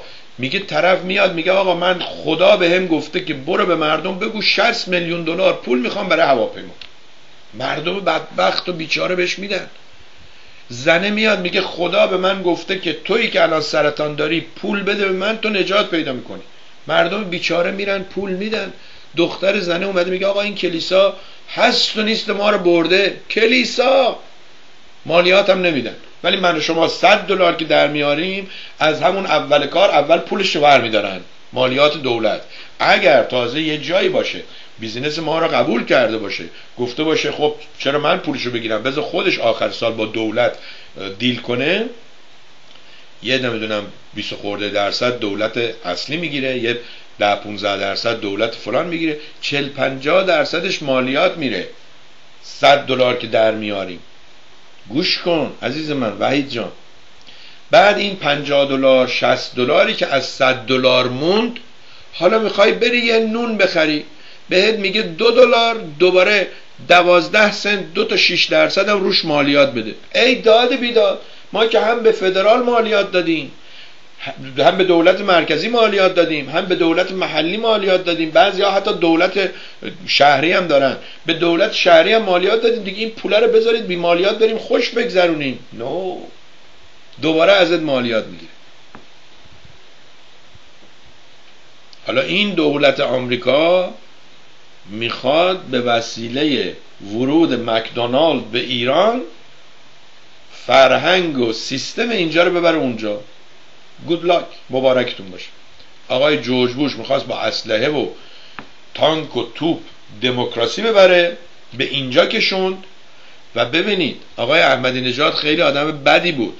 منم با شما هم عقیدم ولی اگر احمدی نژاد نبود جلو اربد کشی های این جورج بوش وایسه الانم ایران زیر پوتین آمریکایی بود. باور کنید. اگر کسی هم محل ما بود و اکبر کل پز رو میشناخت که این مرد وقتی که کل پزی ها می‌دونید ساعت پنج و شیش عصر دیگه کله عصرشون هم فروخته بودن اینا صبح کار میکردنش عصر. صبح که صبح زود عصرم میفروخت بعدش میره عرق خوری. این اکبر آقای کل پس که خیلی آدم کمرو و ضعیفی بود خیلی لاغر بود آقا خدا نصیب گرگ بیابون نکنه. وقتی مس می‌کرد عربد می‌کشید چه ماها که بچه بودیم. چه خانمایی که تو اون خیابون بودن. چه مردا میترسیدن ازش. جلوی این باید یک کسی باشه مثل خودش. میگن سنگ سنگ شکن می‌خواد. باید یک آقایی هم باشه که اونم یا یه شب مس کنه بیاد اینو بزنه یا یه شب در حال چیز یه چوبی داره بزنه تو سر پکال این. ما آقای احمدی نژاد در دوره جورج بوش احتیاج داشتیم. اصلا احمدی نژاد بچه چی میگن حلال زاده جورج بوش بود. حالا شما هی بگو که قیافش اینجوری بود چرا صورتشو اتو نکرده بود؟ یه دوستی یه شعری رو فرستاده بود برای من. بعد توی اون نوشته بود که صورت چین و چروک شد. پریروزا خوندم شعر نبود. یه تنزی بود. و نوشته بود مثل احمدی نژاد که اتو نکرده بود و اینها آقا صورتش تو سرش بخوره. شما ببین همین آمریکا که مهد آزادی از لحاظ دموکراسی ببین دنیا خودشونو به کشتن میدن تا برسن اینجا ببین چه کسافتایی. تازگی یکی دیگه از این رئیس جمهورایی که سال 1920 بوده معلوم شده که به غیر از خانواده خودش با یه خانمی رابطه داشته و توی کمد وایت هاوس توی کمد کاخ سفید با این خانمه عشق بازی کرده که این همین آقای چیز می‌گفت که همین آقای جان آلیور.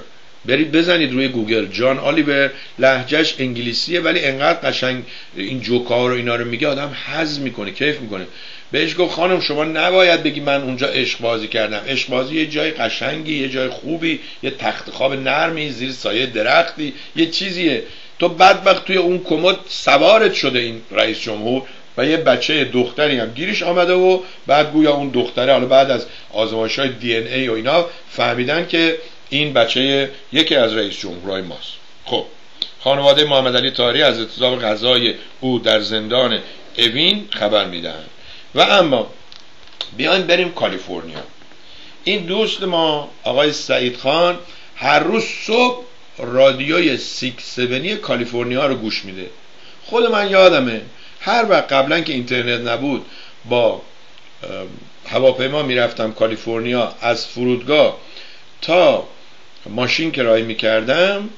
هی میگشتم دنبال این سیکس سونی. سیکس سونی هم چون روی AM بود صدای خوبی نداشت پیدا نمی‌شد و پشت ساختمون می‌رفتی دیده نمی... شنیده نمی‌شد. ولی الان خب به یمن این اینترنت حتی توی این ور آمریکا هم سه هزار مایلی په هزار کیلومتری من می‌تونم گوش بدم. ما امروز صبح قبل از شیش اونا آمدیم و نشستیم. خیلی خوب بود. موزیک میذاشت و آگهی میذاشت.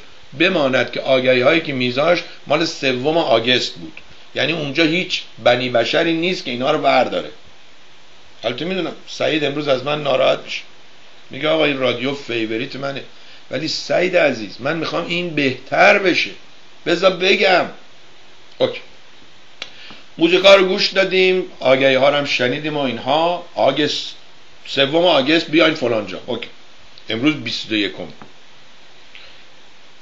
ساعت 6 شد و سرود ایران زد و سه نفر قرار بود بیان اونجا. یکی آقای ساسان کمالی یکی یه خانمی و یکی یه آقایی.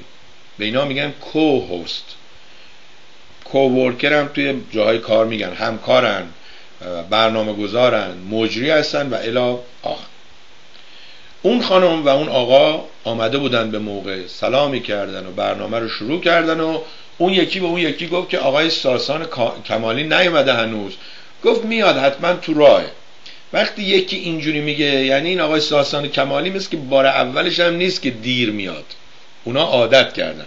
برای آقای ساسان کمالی نوشتم که من امروز توی برنامهم یه قلقلکی به شما میدن پوک این وقتی به یه کسی یه چیزی می‌زنی بهش میگن پوک. روی فیسبوک اینا هست. و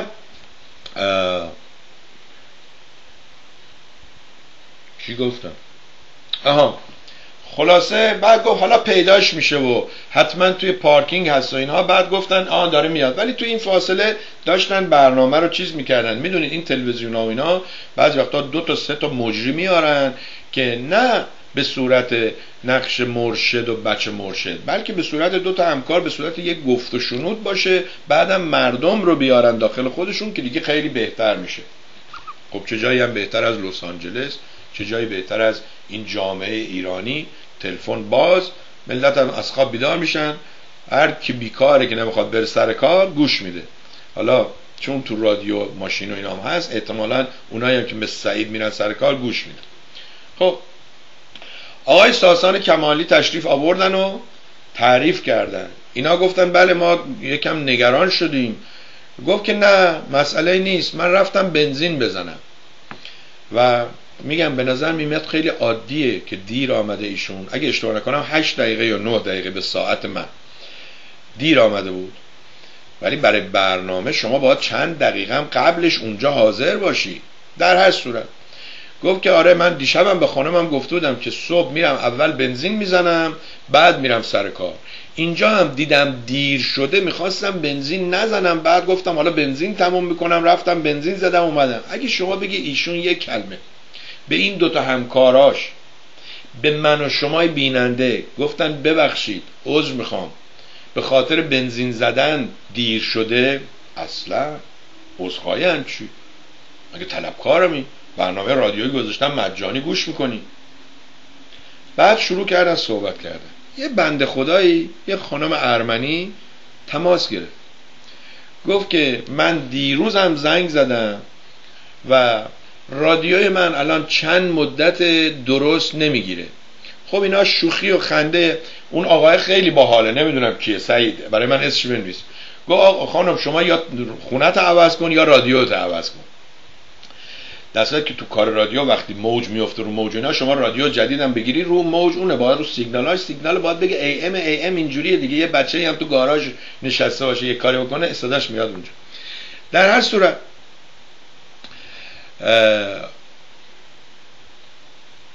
سه تا مجری یه برنامه می‌خواستن راهنمایی کنن به این خانم بگن که خب حالا که با این تلفن با این رادیو نمی‌گیری تو خونه رادیو رو جابجا کن.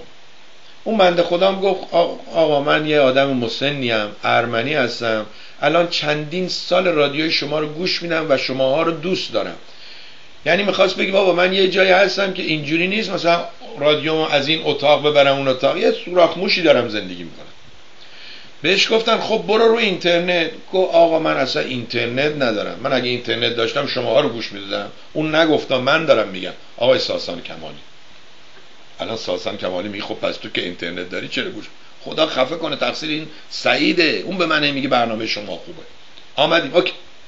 بد نیست برنامهتون خوبه. خلاص. گفت من اینترنت ندارم. بهش راهنمایی کردن. گفتن ببین ما هم از سربی یاد گرفتیم. شما می‌تونی با تلفن هم لذا اینو نشون بدم. خودکشی نکنی یا با تلفن هم صدای برنامه ما رو بشنوی. پلیر چهار. بیا ببینیم. بله. گفت چجوری با تلفن صدای برنامه شما رو بشنوم؟ گفت ببین به این شماره زنگ بزن. یه شماره ای رو گفت اون خانمه گفت نه آقا این 560 نیست این 660 اون یکی گفت نه آقا این 280 نیست این 380 اون یکی گفت آقا نه 415 نیست 515 است. این بیچاره خانمی که زنگ زده دیروز هم زنگ زده همینجوری علاف شده اینجا. حالا سه تا از برنامه گذاران رادیویی جامعه ایرانی می‌خوان یه شماره تلفن تماس. اینجا بهش میگن call to listen. یا AudioNow call to listen یعنی شما زنگ می‌زنی گوش می. که اونم برای مادری که نشسته اونجا سالها برنامه شما رو گوش می‌کنه که دیگه نمی‌تونه با تلفن. حتما این speaker phone هم نداره که شما بگی با speaker phone بشین گوش بده. خلاص شماره های غلط گفتم. ما آمدیم این رو برای سعید نوشتیم.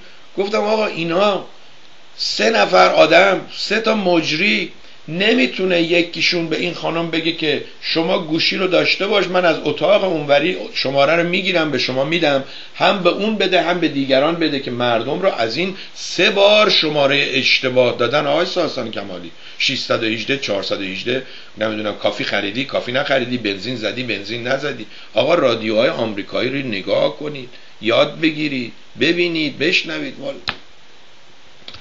خلاصه من فکر نمی‌کنم این بنده خدا مشکلش حل شد.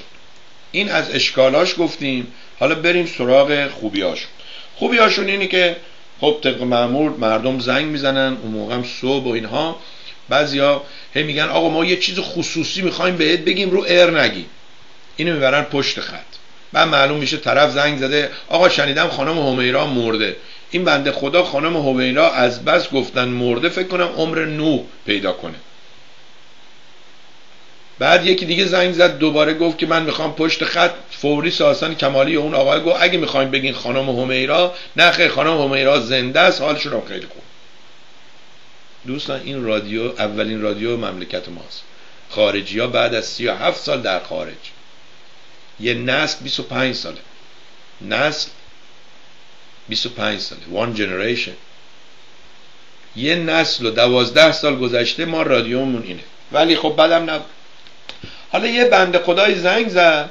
گفت بعد این مشکلاتی که شما دیر آمدی و شماره تلفن اونجوری و اینها من یه جوکی بگم. گفتن بگو.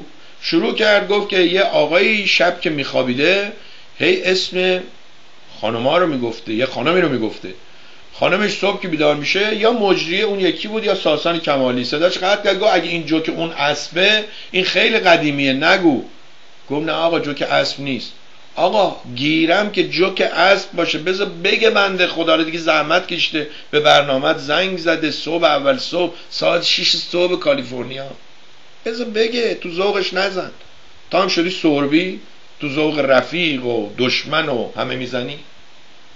طرف جوکر گفت چقدر قشنگ گفت.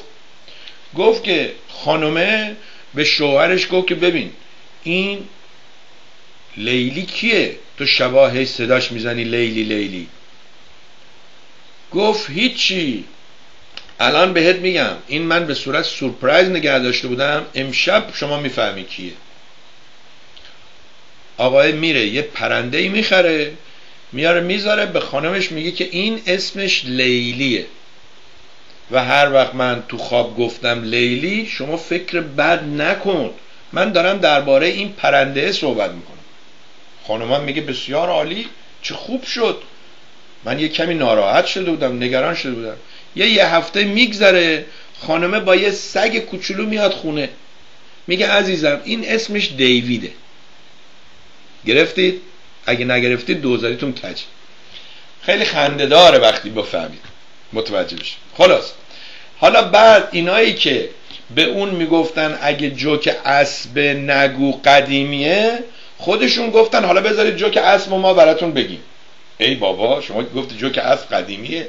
آقا نگو به این تلویزیون و رادیو جدید ما که همه افراد پیرمرد و مسن و نمی‌دونم حالا دیگه ساسان کمالی فکر کنم از من پیرتر باشه. توهین میشه ما فقط جدیدترین جوک ها جدیدترین خبرها رو میگیم. شروع کرد جوک اسب رو گفت. اون که قشنگ بود دیگه. خانمم یه دوست پسر پیدا کرده. شب تو خواب اگه گفت دیوید رفته زبلی کرده یه سگ آورده که بگه این سگ است. Anyway. پس توتی شد لیلی یا پرنده شد لیلی؟ سگ شد دیوید. حالا بیایم سراغ اسب. این جوک اسب چی بوده؟ می‌دونید که اسبا رو اینجا اسم می‌ذارن. نمی‌دونم پرنسس فلان جکلین فلان قایقا هم اسم می‌ذارن. یه آقایی اینا جوکا می‌دونید جوکا هر از چند سالی عوض میشه دیگه. یه آقایی توی خواب اسم یه کسی رو می‌گفته که اسم یه معنسی بوده. خانمش بهش میگه تو چه خبره؟ شبا هی توی خواب اسم فلانی رو میگی. میگه آره عزیزم تو که می‌دونی من میرم رو اسبا شرط بندی می‌کنم. میگه بله. میگه نگاه کن این تیکت رو من خریدم. الحمدلله چقدر پول داره. این تیکت رو من خریدم. اینا رو من رو اون شر... رو اون اسبه شرط بندی کردم. بعد امیدم اینه که برنده بشه تو خواب هی اسمشو میگم. دو سه روز میگذره. خانم یه نفر تلفن می‌زنه گوشی رو ور میداره میگه عزیزم بیا. اسبت می‌خواد باهات صحبت کنی این هم این جوکی بود. جوک قشنگی بود. بابا بذارید مردم جوک بگن. سلام. به به به به به به. مرداد دوست و همشهری من ازدواج کرده. بسیار خوشحالم. جای مادرتم خالی. بنده خدا فوت شد و ای کاش ایشونم بود. حالا که به اصطلاح شما ازدواج کردی و بعد از این همه سال که در غم همسر اولت بودی حالا باز به اصطلاح خانه عشقی برای خودت ساختی. امیدوارم شاد و پیروز باشی و یادت باشه. آمریکایی ها میگن happy wife is happy life. یعنی اگر زنت رو خوشحال نگهداری زندگی خوشحالی خواهی داشت. یه چیز دیگه هم دارن. میگن که شما ترجیح می‌دید که همیشه حرفتون راست باشه و به کرسی بنشونید یا خوشحال باشید. یعنی خیلی نمی‌خواد هی پا بکنید تو کفش همسرتون. بزنه هم میگم ها که هی بگن نه من اینو درست میگم.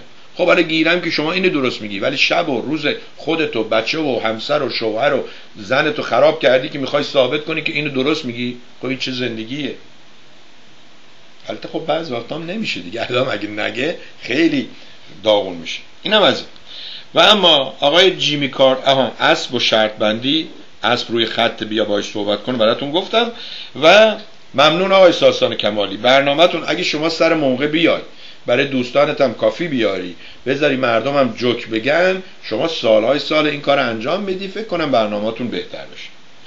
خب جیمی کارتر می‌دونید که رئیس جمهوری هست که دوستان طرفدار پادشاهی نه اونا می‌دونن که پادشاه خودش به خودش ضربه زد که دوستان شاه اللهی که معمولا به خاطر نادانیشون دشمن ما هستند اینها فکر می‌کنن جیمی کارتر ریشه زده یا تیشه زده به ریشه شاه.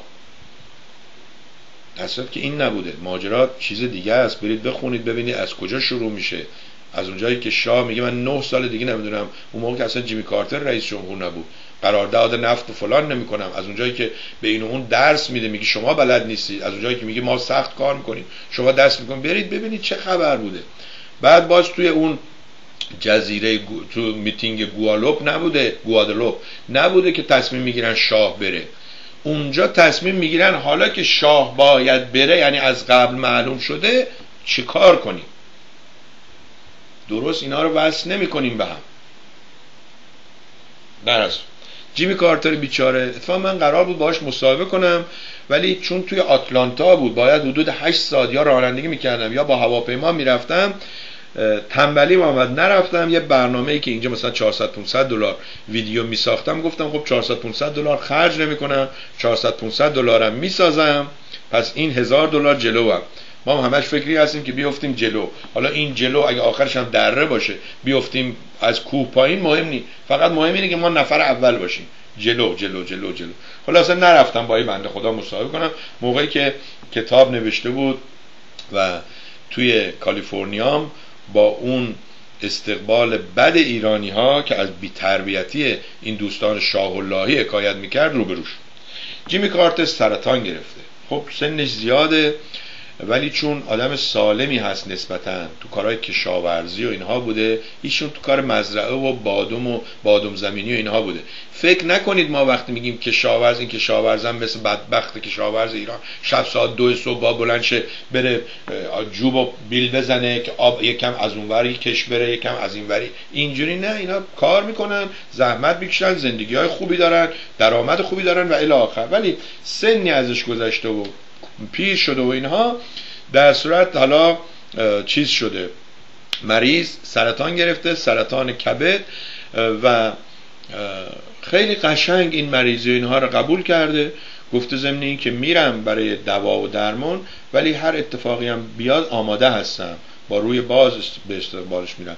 دیروز گفتن که این مرض از کبدش کبد همون جگره از کبد زده به مغزش سرطان. و سرطان می‌دونید دیگه بعضی وقتا خیلی ناجور پیش میره اینها. و خب یه خبر به قول اینها بریکینگ نیوز بود. البته breaking news CNN یه دفعه چیز مسخرهشون می‌کرد. Jay Leno گفت دیشب کنسرت بوده یه جایی کلاگیس خواننده یادتونه Cher. الان دیگه چند ساله خب پیرم شده اون رفته کنار گفت کلاگیس این گم شده بوده. امروز CNN همین نوشته breaking news کلاگیس Cher پیدا شد. ولی خب حالا به عنوان breaking news این آقای جیمی کارتر رو هم داشت میگو که کنسرش اینجوری فکر کنم 90 سال حداقل داشته باشه. یکی برای من بنویسه شاید هم بیشتر. در هر صورت گفت قبول می‌کنم اینها. بعد باش مصاحبه کردن اینا گفت که چه کاری رو پشیمونی که انجام دادی یا چه کاری رو پشیمونی که انجام ندادی؟ بعد گفت که من در ریاست جمهوریم هنوز پشیمونم که ای کاش تعداد بیشتری البته گو یه هلیکوپتر بیشتر فرستاده بودم ایران تا اون ماجرا به اصطلاح می‌دونید سقوط هلیکوپترها زدن به همدیگه شن و اینها آخوندام گفتن آقا خدا طوفان مثل که این روسیه تو رادار دیده بود یه کاری کرده بود. در هر صورت این میگه که من هنوز نادم و پشیمانم که خودم رو سرزنش می‌کنم که چرا اون موقع هلیکوپتر به اندازه کافی نفرستادم که اونا رو نجات بدم چون اگه فرستاده بودم برای بار دومم انتخاب می شدم قافل از اینکه این آخوندا با ریگان و جورج بوش و اینها. امروز آقای اجلاری برای من یه ویدیویی فرستاده برای روز دوشنبهش راجع به دکتر عباسی که اتفاقا این دکتر عباسی هم اگه اشتباه نکنم همشهری بنده است ولی اونم مثل من خیلی زر زیاد می‌زنه. این دکتر عباسی توضیح میده که آقا اینها زمان خمینی هم آمدن ایران کلیدم آوردن ولی اون کلید دیدن هیچی رو باز نمی‌کنه. الان رفتن یک کلید جدید آوردن اونم با روحانی دشمنه. حالا خود این روحانی هم آدم همچین خوب و صالحی نیست. خودش 20 ساله تو این حکومته و هر اتفاقی که افتاده اینها همه مسئولن همه باید در دادگاه مردمی پاسخگو باشن. برای آقای اجلالی نوشتم آقای اجلالی یکی از اونایی که من می‌دونم دوشنبه به برنامه شما زنگ می‌زنه منم. می‌خوام ازت سوال کنم. آقای اجلالی مگه آقای خمینی نیومد؟ گو این شاه و دستن در کاران به مردم دروغ میگن. خب خودش که دروغ گفت. مگه آقای خمینی نیومد گو اینها پشت صحنه با جلو صحنه دو تا کار انجام میدن؟ با مردم یه جور میگن پشت صحنه. خب اینم که همین کاری کرد. خب چه فرقی داره؟ اینم که میشه باز همون شاه و شیخ دستی به هم در براریم فرقی با هم نداریم. دوشنبه برنامه آقای اجلالی ولی قبل از اون امروز ساعت چهار بعد از ظهر برنامه آقای حسن ارشاد رو داریم. و اما گفتگوی سیمای پادشاهی ایران با مرتزا موسوی اداره کل هشتم ساواک بخش یک. دوستان براتون جالب نیست که این ساواکیا به غیر از اینکه خیلی هاشون استخدام همین آخوندا شدن. حالا بعد از سالها بعد از اینکه رئیسشون اون قاتل بزرگ پرویز ثابتی سر از خاک سر از چی میگن سوراخش بیرون آورد یکی یکی اینا دارن میان بیرون. چه ملت بدبخت و بی ارزه هستیم که کلیمیه بعد از 60 سال میره دنبال مسببین طلاهاشون رو پس می‌گیرن. اینا رو به سزای اعمالشون میشونن میارنشون توی دادگاه ها محاکمه می‌کنن. ما احمقا که واقعا هیچ کلمه ای سزاوار سزاوارتر از کلمه احمق برای من شما نیست. می نشینیم برنامه اینا رو نگاه می‌کنیم که ساواکیه رو آورده توضیح میده و می‌خواد حالا آب توبه بریزه رو سر خودشو زنشو بچهشو الی آخر. برای همدیگه هم میفرستیم این دوستم آقای علی شیرازی فرستاد. ای داد بیداد بر من و ای داد بیداد بر شما. خب این تبلیغی هم بکنیم برای آقای مهدی مهدیزاده. God Grace. من اینجا به شما نشون بدم که 26 بله اجازه بدید این تصویر درسترش رو اگه بتونم بیارم توی صفحه. بله. 26 همین ماه که امروز 21 هست روز چهارشنبه در Hilton Dallas Airport این پایین نوشته Hilton Dallas Airport برنامه ای دارن ایشون. 26 دلار شما میدی نمایشگاه هست اونجا صحبت می‌کنن اینها بعد از ساعت یک تا هفت بعد از ظهر این کارا هست. از هفت تا یازده اون کارا dance و موزیک و خوراک و اینها. ایمیلشون هست TU یعنی Teacher University TU 26 شماره خدا هست gggodgrace at gmail.com و اما شماره تلفنشون می‌دونم چرا این آقای مهدی مهدی زاده نیومد اینجا. ایشون خیلی بیزینسمن زبلی هست. می‌دونه که وقتی که نیاد من به جای 45 ثانیه یه دقیقه آگهیشو نشون بدم و برم مجبورم دو سه دقیقه درباره این صحبت کنم. ولی این راهش نیست. در هر صورت 26 June و جولای گذشت August در Hilton Dulles Airport. شماره تلفنشون هم هست. 202 680 یه بار دیگه هم نشون بدم. 202 680 04 56 ممنونم. برید برنامه رو ببینید. اونایی که از طریق تلویزیون مردم برید اونجا. اگه لطف کنید بهشون بگید که ما آگهیتون رو در تلویزیون مردم دیدیم. بعدم بیاین به ما بگید که اونجا چه گذشت. خوب بود نبود. تا ما به دیگران بگیم ممنون و متشکر میشیم. و اما آقای محسن نژاد که نمی‌دونم چرا به اصطلاح ایمیلاشون میره داخل سپم راهپیمایی پیش چشم دزدان. آقای محسن نژاد اگه تلویزیون مردم رو نگاه کنی اینو اون وقت چهارشنبه می‌دیدی. چهارشنبه تا حالا نشون دادم. 20 تا آدم بیچاره بنده خدایی که ظلم شده بهش. شیخ سالها ملا آخوند به اینا ظلم کرده. حالا به نظر من اینا دارن به اصطلاح با آقای نوریزاد راه درستی رو نمیرن. دارن وقت خودشون رو تلف می‌کنه. آقای نوریزاد داره به یه نحوی از اینها سوء استفاده می‌کنه. من اینو نشون دادم. اگر برنامه ما رو می‌دیدید آگهی ها رو دیدید تو خیابونا میگه اگه اینجا زندگی می‌کردید الان منزل بودید. اگه تلویزیون مردم می‌دیدید اینو سه روز پیش دیده بودید.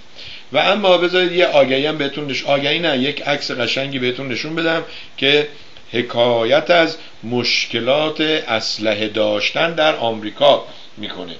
میگه که یک پلیسی به اداره پلیس تماس گرفت روی بیسیم و گفت که یک خانم مسنی یک پیرزنی همسرش رو کشته برای اینکه آشپزخونه رو تمیز کرده بوده کف آشپزخونه رو ته کشیده بوده و به همسرش گفته که اینجا خیسه نیاد تا خوش بشه همسرش رفته اونجا و این شلیک کرده کشتتش.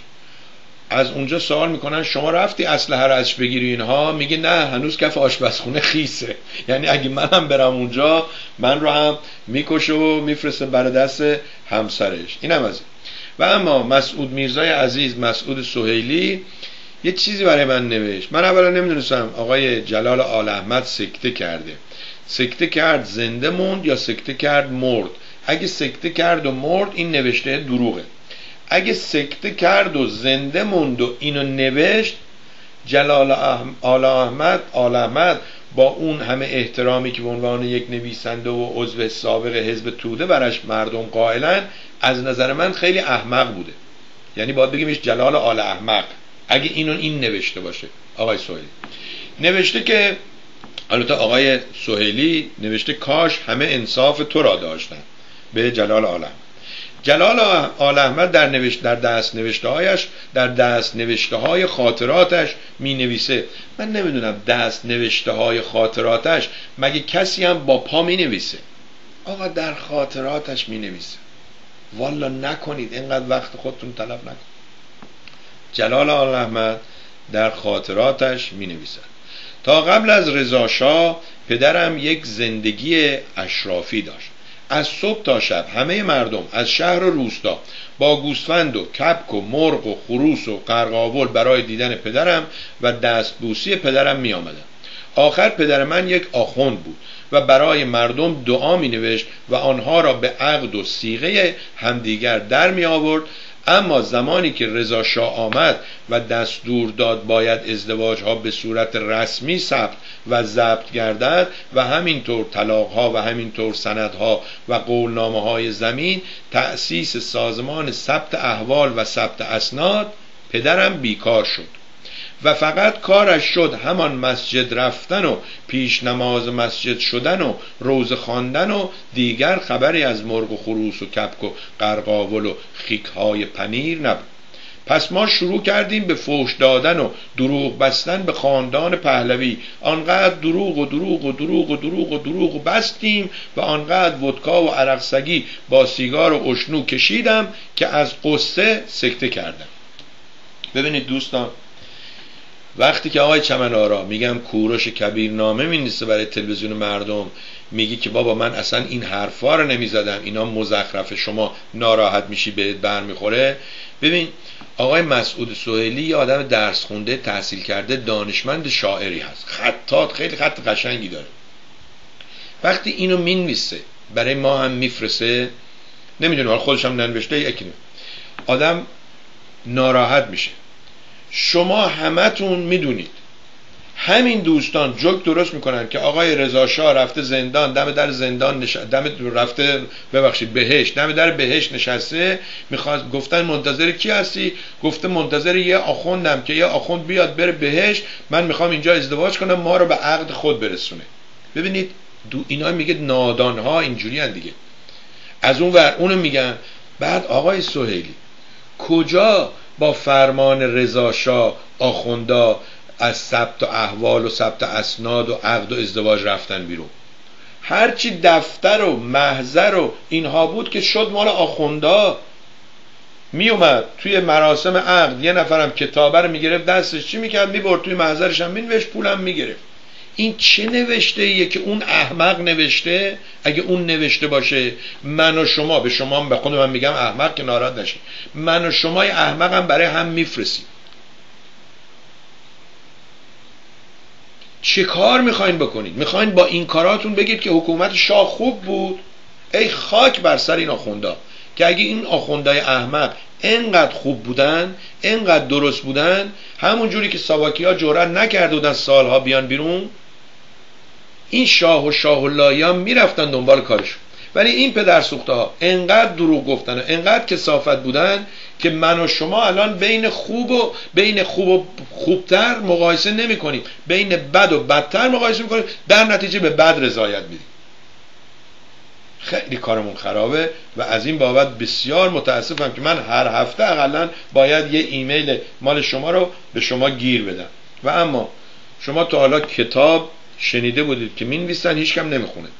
کتاب شنیده بودید که می‌نویسه طرف که نوشته میاد خودش میخونتش مثل آقای کلینتون. ضمن این 6 تا سیدیش هنوز اینجاست. اگه کسی می‌خواد گفتم قیمتی 35 دلار بوده اون زمان. ممکن الان ارزون تر باشه. کانادا 50 دلار بوده. نشون میده که دلار کانادا و چیز چقدر بوده. شما اگه می‌خواین باید بیشتر از 35 دلار بدید تا من براتون پست کنم. و این رسمه که تو تلویزیون ها یه چیز یه دلاری رو میارن میدن میگن این 100 دلار. که تو نشون بدی برات مهمه اونم برات بفرسته. در اصل آدیو بوک یا کتاب گویام شنیده بودیم ولی کتاب نوشیدنی ما نشنیده بودیم. یه خانمی تو همین ویرجینیا یک کتابی ساخته به نام کتاب نوشیدنی که روی این صفحه ها نوشته چجوری از صفحه های این استفاده کنید آب رو فیلتر کنید و سالم باشه. که به نظر من خب کسی فیلتر معمولی برای این بدبخت ها بفرسته لازم هم نیست بخونن. همه آفریقایی و کشورهای جهان سوم انگلیسی بلد نیستن که. ولی خب این هست. اگه کسی می‌خواد این رو هم باز آقای سهیلی فرستاده. ممنونم. همونجوری که اون ایمیل های مینیست که آدم عصبانی میشه خب از این برم ایمیل های اینجوری قشنگ میفرستن و بسیار ممنون. ببینیم که listening to you downtown خدا بگم چه کارت کنه. این دیگه حالا راه هم که میره داره صدای ما رو میشنوه و عکس می‌گیره گذاشته تو گوشش و خیلی خوشحالم. مرسی. نوشته که proud to what is it?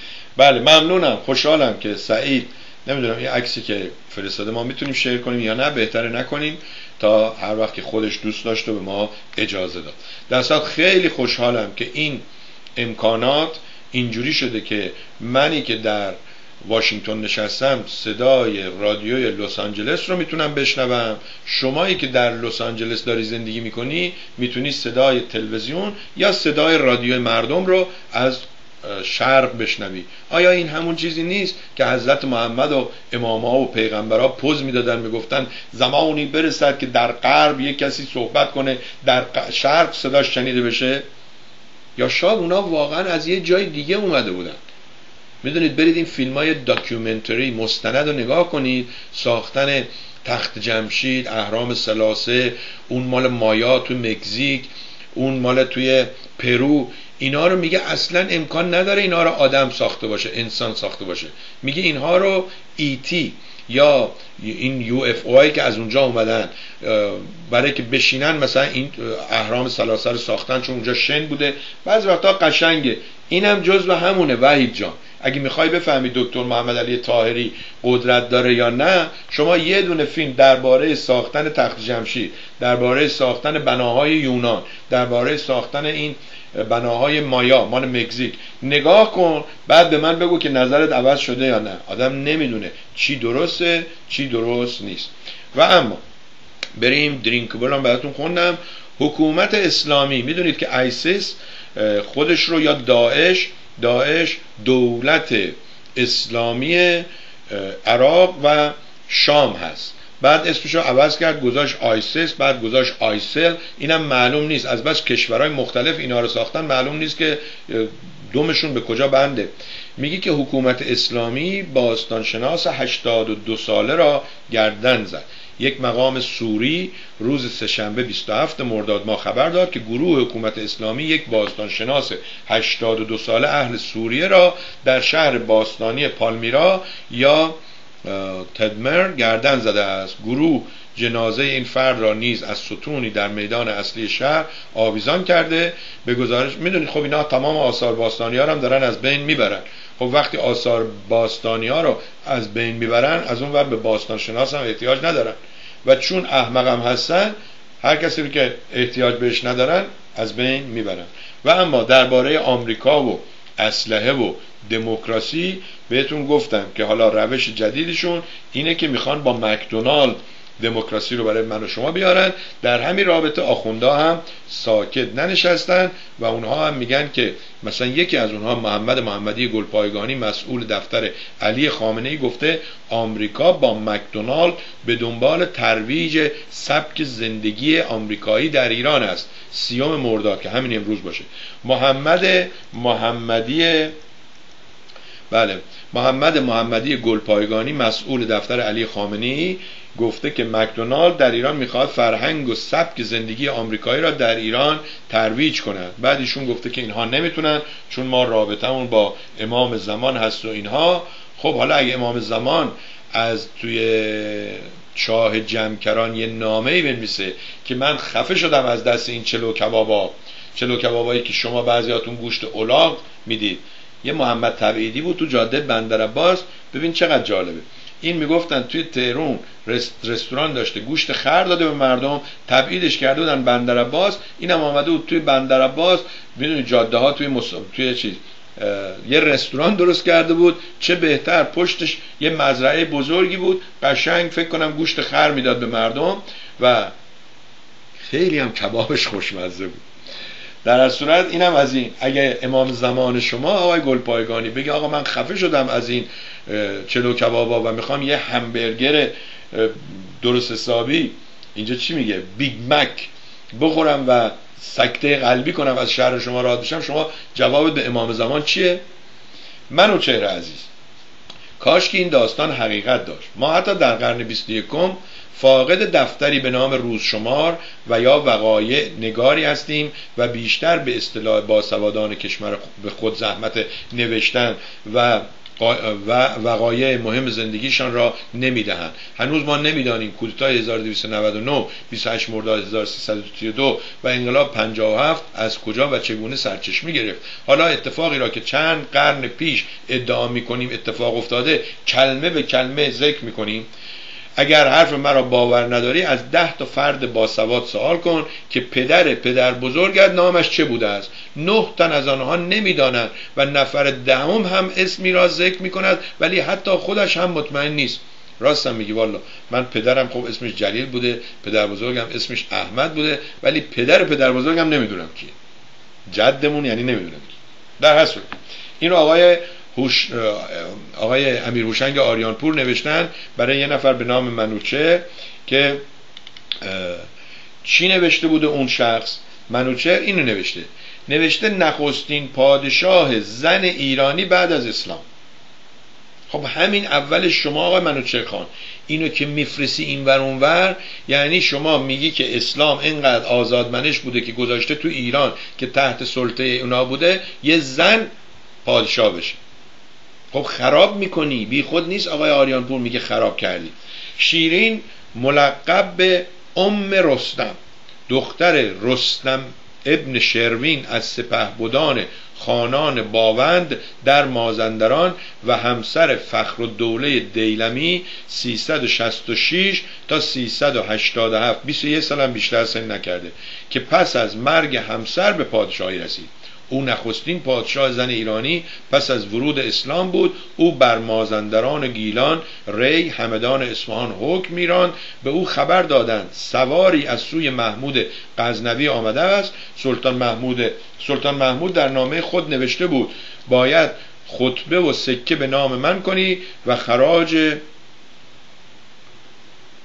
خراج فرصتی والا جنگ را آماده باشی. ام رستم به پیک محمود گفت اگر خواست سرور شما را نپذیرم اگر خواست سرور شما را نپذیرم چه خواهد شد؟ پیک گفت آن وقت محمود غزنوی سرزمین شما را به راستی از آن خود خواهد کرد. ام رستم به پیک گفت که پاسخ مرا همین گونه که می‌گویم به سرورتان بگویید. در عهد شوهرم همیشه میترسیدم که محمود با سپاهش بیاید و کشور ما را نابود کند.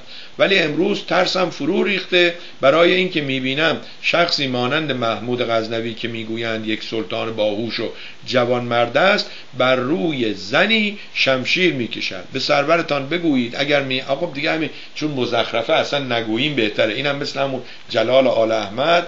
بذاریم بره به قول معروف.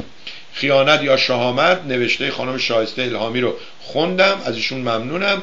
و اما آقای مختار حسین حسین مختار زیبایی که چندین برنامه هم در تلویزیون مردم داشتن شما می‌تونید برید با تایپ کردن اسم ایشون ببینید اون برنامه ها رو. روی یوتیوب هستن.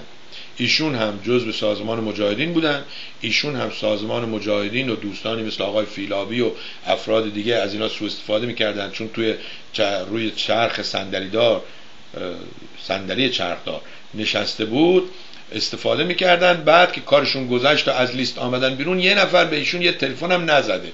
ایشون در لاس وگاس هست. تمام بدنش با آهن پیچ و موره کردن و اینها. چون میگه که زیر شکنجه و اینها به اصطلاح خرد و داغون شده.